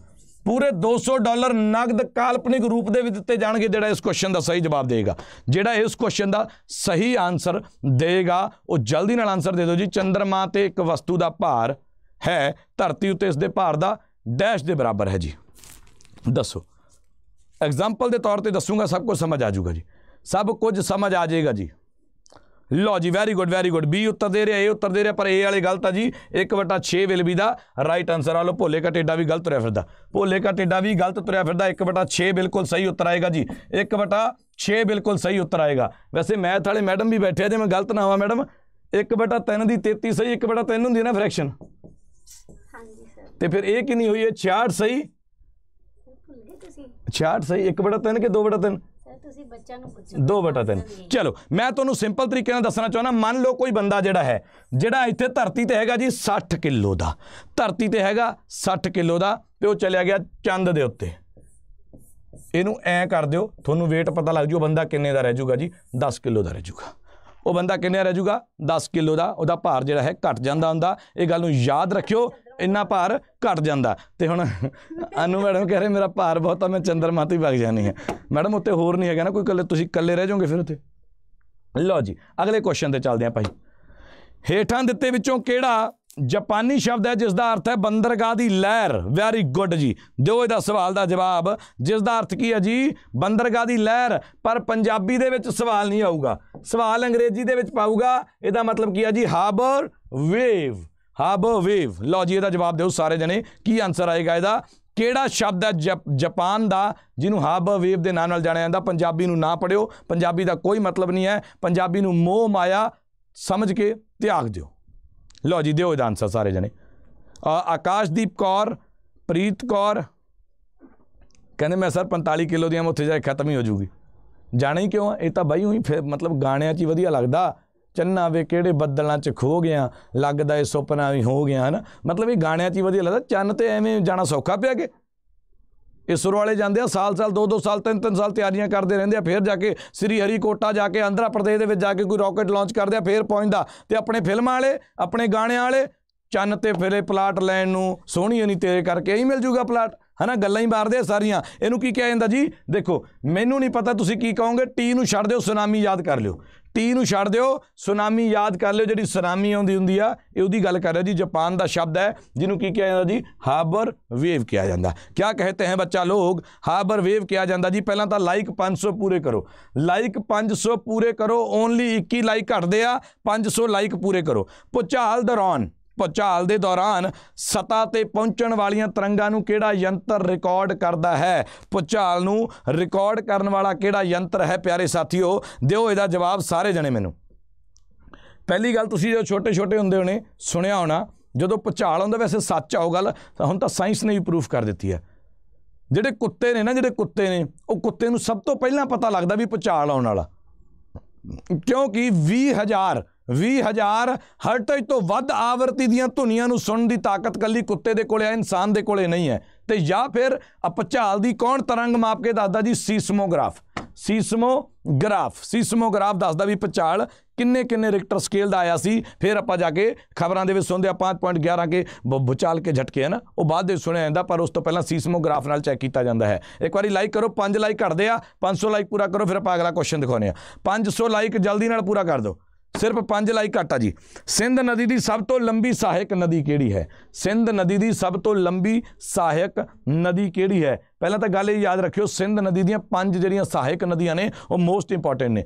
ਸਤਲੁਜ, ਬਿਆਸ, ਰਾਵੀ, ਚਨਾਬ, ਜੇਲਮ। ਆ ਪੰਜੇ ਨਦੀਆਂ ਯਾਦ ਰੱਖਿਓ ਤੇ ਸਭ ਤੋਂ ਲੰਬੀ ਨਦੀ ਕਿਹੜੀ ਆ? ਸਿੰਪਲ ਜੀ ਗੱਲ ਆ। ਇਹ ਐਂ ਪੁੱਛ ਰਿਹਾ, ਘੁੰਮ ਫਿਰਾ ਕੇ ਬੋਤੀ ਬੋੜ ਥੱਲੇ ਆ ਰਹੀ ਹੈ, ਘੁੰਮ ਫਿਰ ਕੇ ਇਹ ਐਂ ਪੁੱਛੀ ਜਾਂਦਾ ਤੁਹਾਡੇ ਤੋਂ ਪੰਜਾਬ ਦੀ ਸਭ ਤੋਂ ਲੰਬੀ ਨਦੀ ਕਿਹੜੀ ਆ? ਕਿਉਂਕਿ ਸਿੰਧ ਜਿਹੜੀ ਹੈ, ਉਹ ਪੰਜਾਬ ਦੀ ਵੱਡੀ ਨਦੀ ਸੀਗੀ, ਪੰਜਾਬ ਦੀ ਵੰਡ ਤੋਂ ਪਹਿਲਾਂ। ਪੰਜਾਬ ਦੀ ਵੰਡ ਤੋਂ ਪਹਿਲਾਂ ਪੁਰਾਤਨ ਸਮੇਂ ਦੇ ਵਿੱਚ। ਪਰ ਹੁਣ ਹੁਣ ਪੰਜਾਬ ਦੀ ਵੰਡ ਵੀ ਹੋ ਗਈ ਤੇ ਹੁਣ ਕਿਹੜੀ ਰਹਿ ਗਈ? ਸਤਲੁਜ ਰਹਿ ਗਈ ਤੇ ਇਸੇ ਸਤਲੁਜ ਨੂੰ ਬੈਕਬੋਨ ਕਿਹਾ ਜਾਂਦਾ ਜੀ, ਪੰਜਾਬ ਦੀਆਂ ਨਦੀਆਂ ਦਾ, ਪੰਜਾਬ ਦੀ ਨਦੀਆਂ ਦਾ ਬੈਕਬੋਨ ਕਿਹਾ ਜਾਂਦਾ ਇਹਨੂੰ। ਕੀ ਕਿਹਾ ਜਾਂਦਾ? ਤੂੰ ਬੈਕਬੋਨ ਜੱਟ ਦੀ, ਮੈਂ ਤੇਰਾ ਆ ਬਲੱਡ ਗੋਰੀਏ ਲਓ ਜੀ, ਚਲਿਏ ਅਗਲੇ ਕੁਐਸਚਨ ਤੇ। ਅਗਲੇ ਕੁਐਸਚਨ ਦੇ ਉੱਤੇ ਚੱਲਦੇ ਹਾਂ ਜੀ, ਚਲੋ। ਸਤਲੁਜ ਬਿਲਕੁਲ ਬਿਲਕੁਲ ਸਹੀ ਹੈ ਜੀ, ਬਿਲਕੁਲ ਸਹੀ ਹੈ ਆਨਸਰ ਤੁਹਾਡਾ ਸਭ ਦਾ। ਲਓ ਜੀ, ਅਗਲਾ ਕੁਐਸਚਨ ਦੇਖੋ। ਭਾਰਤੀ ਸੰਵਿਧਾਨ ਵਿੱਚ ਸੁਤੰਤਰਤਾ ਦਾ ਸਿਧਾਂਤ ਹੇਠ ਲਿਖੇ ਵਿੱਚੋਂ ਕਿਸ ਦੇਸ਼ ਤੋਂ ਲਿਆ ਗਿਆ ਜੀ? ਕਹਿੰਦੇ ਜੀ, ਭਾਰਤੀ ਸੰਵਿਧਾਨ ਦੇ ਵਿੱਚ ਪ੍ਰਿੰਸੀਪਲ ਆਫ ਲਿਬਰਟੀ ਕਿਹੜੇ ਮੁਲਕ ਤੋਂ ਆਪਾਂ ਫੋਲੋ ਕਰਕੇ ਲੈ ਕੇ ਆਏ ਆ ਕਿਹੜੇ ਮੁਲਕ ਤੋਂ? ਸਭ ਨੇ ਫ੍ਰੈਂਚ ਰੈਵੋਲੂਸ਼ਨ ਦਾ ਨਾਮ ਸੁਣਿਆ? ਫ੍ਰੈਂਚ ਰੈਵੋਲੂਸ਼ਨ ਦਾ ਨਾਮ ਸੁਣਿਆ ਜਾਂ ਨਹੀਂ ਸੁਣਿਆ? ਅਗਰ ਸੁਣਿਆ ਹੈ, ਤਾਂ ਤੁਹਾਡਾ ਇਸ ਕੁਐਸਚਨ ਦਾ ਆਨਸਰ ਬਿਲਕੁਲ ਸਹੀ ਆਏਗਾ ਜੀ। ਤੁਹਾਡਾ ਇਸ ਕੁਐਸਚਨ ਦਾ ਆਨਸਰ ਬਿਲਕੁਲ ਸਹੀ ਆਏਗਾ। ਜੇ ਤੁਸੀਂ ਫ੍ਰੈਂਚ ਰੈਵੋਲੂਸ਼ਨ ਦਾ ਨਾਮ ਸੁਣਿਆ ਹੈ, ਜੇ ਤੁਸੀਂ ਇਸ ਕੁਐਸਚਨ ਨੂੰ ਅਟੈਂਪਟ ਕਰਨਾ ਚਾਹੁੰਦੇ ਹੋ ਫ੍ਰੈਂਚ ਰੈਵੋਲੂਸ਼ਨ ਤੁਹਾਡੇ ਵਾਸਤੇ ਬਹੁਤ ਇੰਪੋਰਟੈਂਟ ਹੈ, ਕਿਉਂਕਿ ਫ੍ਰੈਂਚ ਰੈਵੋਲੂਸ਼ਨ ਤੋਂ ਆਪਣੇ ਭਾਰਤ ਦੇ ਸੰਵਿਧਾਨ ਦੇ ਵਿੱਚ ਕਾਫੀ ਸਾਰੀਆਂ ਚੀਜ਼ਾਂ ਲੈ ਕੇ ਆਏ। ਉਹਨਾਂ ਵਿੱਚੋਂ ਇੱਕ ਕੀ ਸੀ principle of liberty principle of liberty ਸੀਗਾ ਉਹਨਾਂ ਵਿੱਚੋਂ। ਜੇ ਮੈਂ ਕਹਾਂ ਬੋਰਡ ਫੀਚਰ ਦੀ ਗੱਲ ਕਰਾਂ, ਤੇ ਯੂ ਐਸ ਏ ਸਭ ਤੋਂ ਇੰਪੋਰਟੈਂਟ ਆ ਜੀ। ਯੂ ਐਸ ਏ ਸਭ ਤੋਂ ਇੰਪੋਰਟੈਂਟ ਆ, ਯੂ ਐਸ ਏ ਤੋਂ ਆਪਾਂ ਕਾਫੀ ਕੁਝ ਲੈ ਕੇ ਆਏ। ਸਭ ਤੋਂ ਵੱਡੀ ਚੀਜ਼ ਪ੍ਰੀਐਮਬਲ ਚੱਕਿਆ ਆਪਾਂ।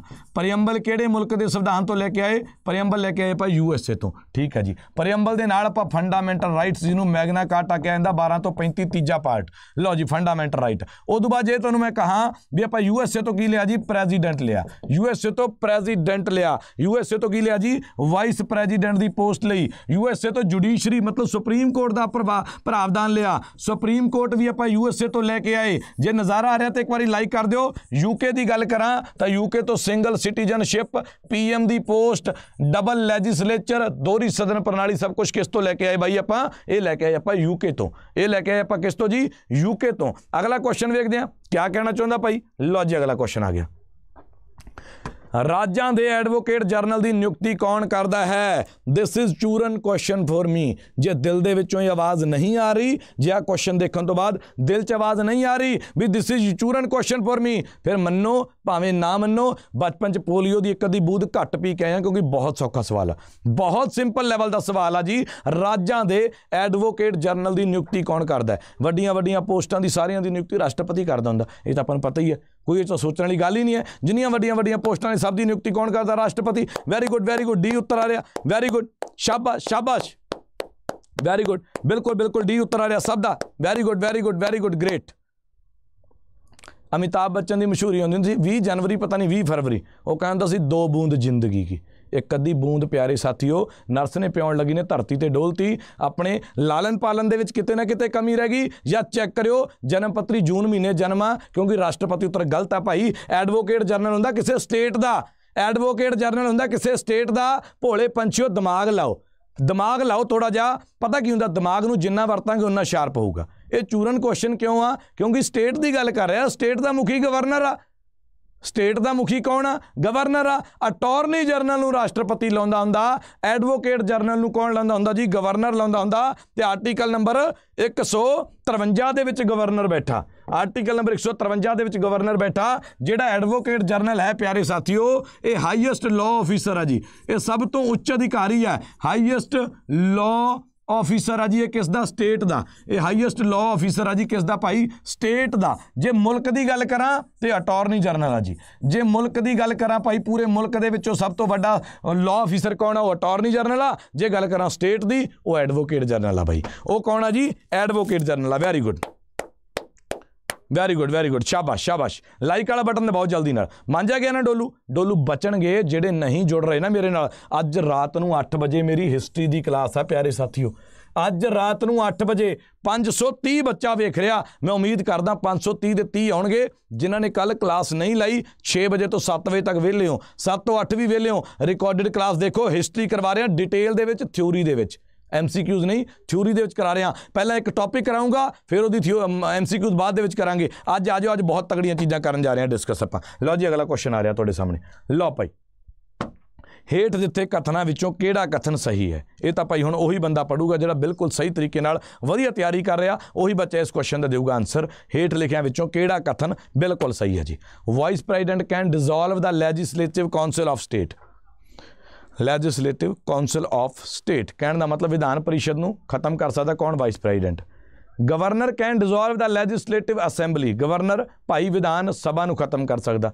ਦਾ ਸਪੀਕਰ ਆਫ ਲੋਕ ਸਭਾ ਕੈਨ ਡਿਸੋਲਵ ਦਾ ਲੋਕ ਸਭਾ ਕਹਿੰਦੇ ਜੀ ਲੋਕ ਸਭਾ ਦਾ ਸਪੀਕਰ ਲੋਕ ਸਭਾ ਨੂੰ ਡਿਸੋਲਵ ਕਰ ਸਕਦਾ। The president can dissolve the Rajya Sabha ਇਹਨਾਂ ਚੋਂ ਇੱਕੋ ਹੀ ਲਾਈਨ ਸਹੀ ਹੈ। ਦੱਸ ਦਿਓ ਕਿਹੜੀ ਲਾਈਨ ਸਹੀ ਹੈ।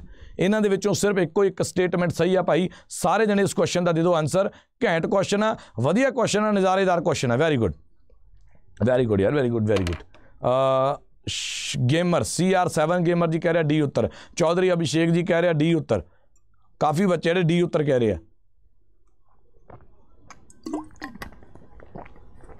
ਕਿਉਂ ਨਾ ਕੁਐਸਚਨ ਨੂੰ ਚੈੱਕ ਕਰ ਲਿਆ ਜਾਵੇ?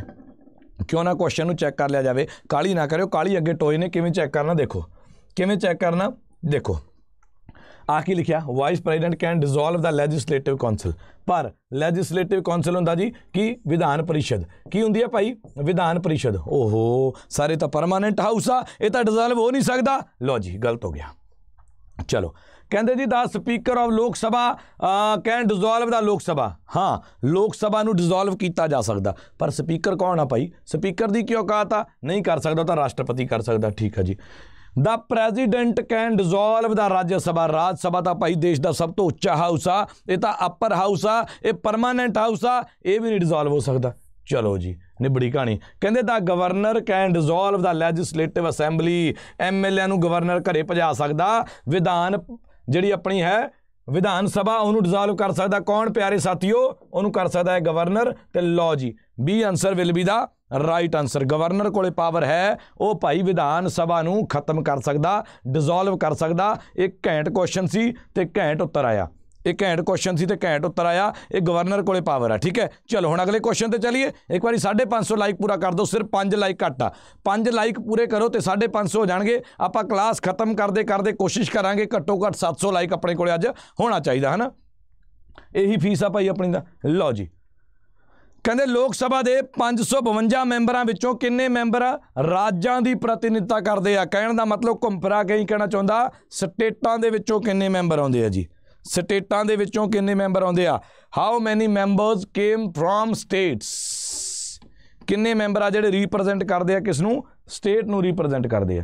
ਦਿਓ ਭਾਈ ਸਾਰੇ ਜਣੇ ਆਨਸਰ ਡੋਲੂ ਨਹੀਂ ਮੰਜਿਆ ਜਾਊਗਾ ਗਾਰੰਟੀ ਨਾਲ ਕਹਿੰਦਾ ਕਾਫੀ ਸਾਰੇ ਬੱਚੇ ਸਹੀ ਉੱਤਰ ਦੇਣਗੇ। ਕਿਉਂਕਿ ਜਿਨ੍ਹਾਂ ਨੂੰ ਮੈਂ ਥਿਊਰੀ ਕਰਾਈ ਹੈ, ਜਿਨ੍ਹਾਂ ਨੂੰ ਮੈਂ ਥਿਊਰੀ ਕਰਾਈ, ਉਹਨਾਂ ਨੂੰ ਦੱਸਿਆ ਸੀ ਵੀ ਇਹ ਕਿੰਨੇ ਮੈਂਬਰ ਲੋਕ ਸਭਾ ਦੇ ਵਿੱਚ ਜਿਹੜੇ ਆ ਸੌਰੀ ਰਾਜ ਸ- ਲੋਕ ਸਭਾ ਦੇ ਵਿੱਚ ਆ ਜਿਹੜੇ ਸਟੇਟਾਂ ਤੋਂ ਆਉਂਦੇ ਆ, ਕਿੰਨੇ ਯੂਟੀਆਂ ਤੋਂ ਆਉਂਦੇ ਆ। ਤੇ ਜਿਨ੍ਹਾਂ ਨੇ ਹਲੇ ਥਿਊਰੀ ਨਹੀਂ ਸ਼ੁਰੂ ਕੀਤੀ ਨਾ ਬੈਚ ਸ਼ੁਰੂ ਕਰ ਲਓ। 7 ਮਾਰਚ ਤੋਂ ਨਵੇਂ ਬੈਚ 'ਚ ਕਲਾਸਾਂ ਸ਼ੁਰੂ ਹੋ ਰਹੀਆਂ। ਬੈਚ ਲੈਣਾ ਕਿਵੇਂ, ਉਹ ਕਲਾਸ ਦੇ ਐਂਡ 'ਚ ਦੱਸੂਗਾ। ਤੇ ਡਿਸਕਾਊਂਟ ਕੂਪਨ ਕੋਡ ਕਿਹੜਾ ਲਾਉਣਾ? Y679 Y679 ਜਿਨ੍ਹਾਂ ਨੇ ਜੁਆਇਨ ਕਰਨਾ, ਕਰ ਲਓ ਜੁਆਇਨ ਡਬਲ ਵੈਲਿਡਿਟੀ ਚੱਲ ਰਹੀ ਹੈ ਜੀ। ਉੱਤਰ ਕੀ ਆਏਗਾ ਇਸ ਕੁਐਸਚਨ ਦਾ?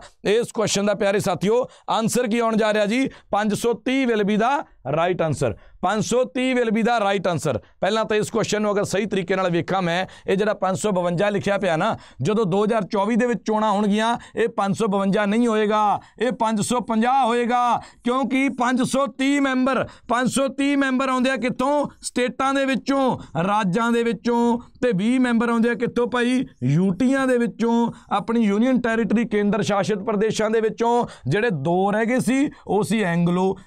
ਉਹ ਕੌਣ ਸੀ? ਐਂਗਲੋ ਇੰਡੀਅਨਸ ਪਰ ਇਹ ਖਤਮ ਕਰਤੇ ਜੀ। 2020 ਚ ਅਮੈਂਡਮੈਂਟ ਹੋਈ ਸੀ। ਇਹ ਖਤਮ ਕਰਤੇ, ਨਿਬੇੜ ਦਿੱਤਾ ਕੰਮ। ਹੁਣ ਇਹਨਾਂ ਦੀ ਗੱਲ ਕੋਈ ਕਰੂਗਾ ਨਹੀਂ। 530 ਕਿੱਥੋਂ? ਸਟੇਟਾਂ ਚੋਂ 20 ਕਿੱਥੋਂ? ਯੂਟੀਆਂ ਦੇ ਵਿੱਚੋਂ। ਚਲੋ ਜੀ, ਹੁਣ ਚੱਲਦੇ ਆਪਾਂ ਨੈਕਸਟ ਹੁਣ ਚੱਲਦੇ ਆਪਾਂ ਅੱਗੇ ਭਾਈ। ਲਓ ਜੀ, ਭਾਰਤ ਵਿੱਚ 5 ਸਾਲਾ ਯੋਜਨਾ ਜਿਹਨੇ ਹਾਈ ਕੋਰਟ ਦੇ ਕਲਰਕ ਦਾ ਪੇਪਰ ਦਿੱਤਾ ਸੀ, ਪੰਜਾਬ ਹਰਿਆਣਾ ਹਾਈ ਕੋਰਟ ਦੇ ਕਲਰਕ ਦਾ ਪੇਪਰ ਦਿੱਤਾ ਸੀ। ਉਹ ਪੇਪਰ ਮੇਰੇ ਹਿਸਾਬ ਨਾਲ 10 ਦਿਨ ਚੱਲੀ ਗਿਆ ਨਾ 5 6 7 ਦਿਨ ਚੱਲੀ ਗਿਆ। ਤੇ ਹਰ ਰੋਜ਼ ਡੇਲੀ ਇੱਕ ਸਵਾਲ ਹੁੰਦਾ ਸੀ 5 ਇਅਰ ਪਲਾਨ ਚੋਂ। ਡੇਲੀ ਇੱਕ ਕੁਐਸਚਨ ਹੁੰਦਾ ਰਿਹਾ 5 ਇਅਰ ਪਲਾਨ ਦੇ ਵਿੱਚੋਂ ਤੇ ਡੇਲੀ ਇੱਕ ਸਵਾਲ ਆਪਾਂ ਵੀ ਲੈ ਕੇ ਆਇਆ ਕਰਾਂਗੇ 5 ਇਅਰ ਪਲਾਨ ਦੇ ਵਿੱਚੋਂ। ਪਹਿਲਾ 5 ਸਾਲਾ ਯੋਜਨਾ ਕਦੋਂ ਸ਼ੁਰੂ ਕੀਤੀ ਗਈ ਸੀ? ਪੰਚਵਰਸ਼ੀय ਯੋਜਨਾ। ਪੰਚਵਰਸ਼ੀय ਯੋਜਨਾ ਪਹਿਲੀ ਕਿਹੜੇ ਸਾਲ ਦੇ ਵਿੱਚ ਸ਼ੁਰੂ ਕੀਤੀ ਗਈ ਸੀ? ਵੈਰੀ ਗੁੱਡ ਵੈਲ ਡਨ ਸ਼ਾਬਾਸ਼ 1951 will be the right answer 1951 will be the right answer ਬਿਲਕੁਲ ਸਹੀ ਉੱਤਰ ਆ ਰਿਹਾ ਤੁਹਾਡਾ। Very good very good very good ਸ਼ਾਬਾਸ਼। ਤੇ ਜਿਹਨੇ ਲਾਈਕ ਨਹੀਂ ਕੀਤਾ, ਉਹ ਲਾਈਕ ਵਾਲਾ ਬਟਨ ਦਬਾ ਦਿਓ। ਉਹ ਲਾਈਕ ਵਾਲਾ ਬਟਨ ਜਲਦੀ ਨਾਲ ਦਬਾ ਦਿਓ ਜੀ। ਹੇਠ ਦਿੱਤੇ ਵਿੱਚੋਂ ਕੌਣ ਬੰਗਲਾਦੇਸ਼ ਦਾ ਸਭ ਤੋਂ ਲੰਬਾ ਸਮਾਂ ਸੇਵਾ ਕਰਨ ਵਾਲਾ ਪ੍ਰਧਾਨ ਮੰਤਰੀ ਹੈ? ਜਾਂ। ਸੀ ਕੌਣ ਹੈ ਜੀ? ਜਿਹੜਾ ਬੰਗਲਾਦੇਸ਼ ਦਾ ਸਭ ਤੋਂ ਲੰਬਾ ਸਮਾਂ ਸ਼ਾਸਨ ਕਰਨ ਵਾਲਾ ਪ੍ਰਧਾਨ ਮੰਤਰੀ ਹੈ? ਜਾਂ। ਸੀ ਜਲਦੀ ਦਿਨੇ ਦਿਓ ਇਹਦਾ ਉੱਤਰ। ਜਲਦੀ ਦਿਨੇ।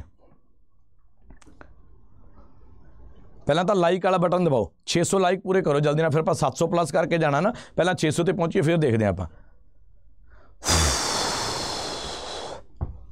ਚਲੋ ਜੀ ਦਿਓ ਇਹਦਾ ਆਨਸਰ ਕੌਣ ਹੈ ਜੀ ਬੰਗਲਾਦੇਸ਼ ਦਾ very good very good Sheikh Sheikh Mujibur ਰਹਿਮ Rahman ਹੈ ਨਾ ਸ਼ੇਖ ਮੁਜੀਬੁਰ ਰਹਿਮਾਨ ਵੈਰੀ ਗੁੱਡ ਵੀ ਉੱਤਰ ਆ ਰਿਹਾ ਕਾਫੀ ਸਾਰੇ ਬੱਚਿਆਂ ਦਾ ਕਾਫੀ ਸਾਰੇ ਬੱਚਿਆਂ ਦਾ ਕੀ ਉੱਤਰ ਆ ਰਿਹਾ ਜੀ ਸ਼ੇਖ ਮੁਜੀਬੁਰ ਰਹਿਮਾਨ ਤੇ ਤੁਹਾਡਾ ਡੋਲੂ ਭਾਈ ਜੀ ਬਿਲਕੁਲ ਮੰਗੇ ਮਾਂਜਿਆ ਜਾ ਚੁੱਕਿਆ ਤੁਹਾਡਾ ਡੋਲੂ ਬਿਲਕੁਲ ਮਾਂਜਿਆ ਜਾ ਚੁੱਕਿਆ ਕਿਉਂਕਿ ਇਹ ਆਨਸਰ ਤੁਹਾਡਾ ਗਲਤ ਹੈ right answer will be Sheikh Hasina Sheikh Hasina ਬਿਲਕੁਲ ਸਹੀ ਉੱਤਰ ਹੈ। ਸ਼ੇਖ ਹਸੀਨਾ ਅੱਜ ਵੀ ਪ੍ਰਧਾਨ ਮੰਤਰੀ ਹੈ ਤੇ ਸਭ ਤੋਂ ਲੌਂਗੇਸਟ ਟਾਈਮ ਵਾਸਤੇ ਵੀ ਪ੍ਰਧਾਨ ਮੰਤਰੀ ਭਾਈ ਇਹੀ ਬਣੀ ਹੋਈ ਹੈ ਬੰਗਲਾਦੇਸ਼ ਦੀ। ਸ਼ੇਖ ਹਸੀਨ, ਹਸੀਨਾ ਦੀ ਗੱਲ ਕਰ ਰਿਹਾ ਮੈਂ, ਇਹੀ ਸਭ ਤੋਂ ਲੰਬੇ ਟਾਈਮ ਵਾਸਤੇ ਪ੍ਰਧਾਨ ਮੰਤਰੀ ਬਣੀ ਹੋਈ ਹੈ। ਲਓ ਜੀ, ਅਗਲਾ ਕੁਐਸਚਨ ਆ ਰਿਹਾ। Sorry sorry sorry sorry sorry sorry sorry ਥੋੜਾ ਜਿਹਾ ਥੋੜਾ ਜਿਹਾ ਦਿਮਾਗ ਲਾ ਲਓ।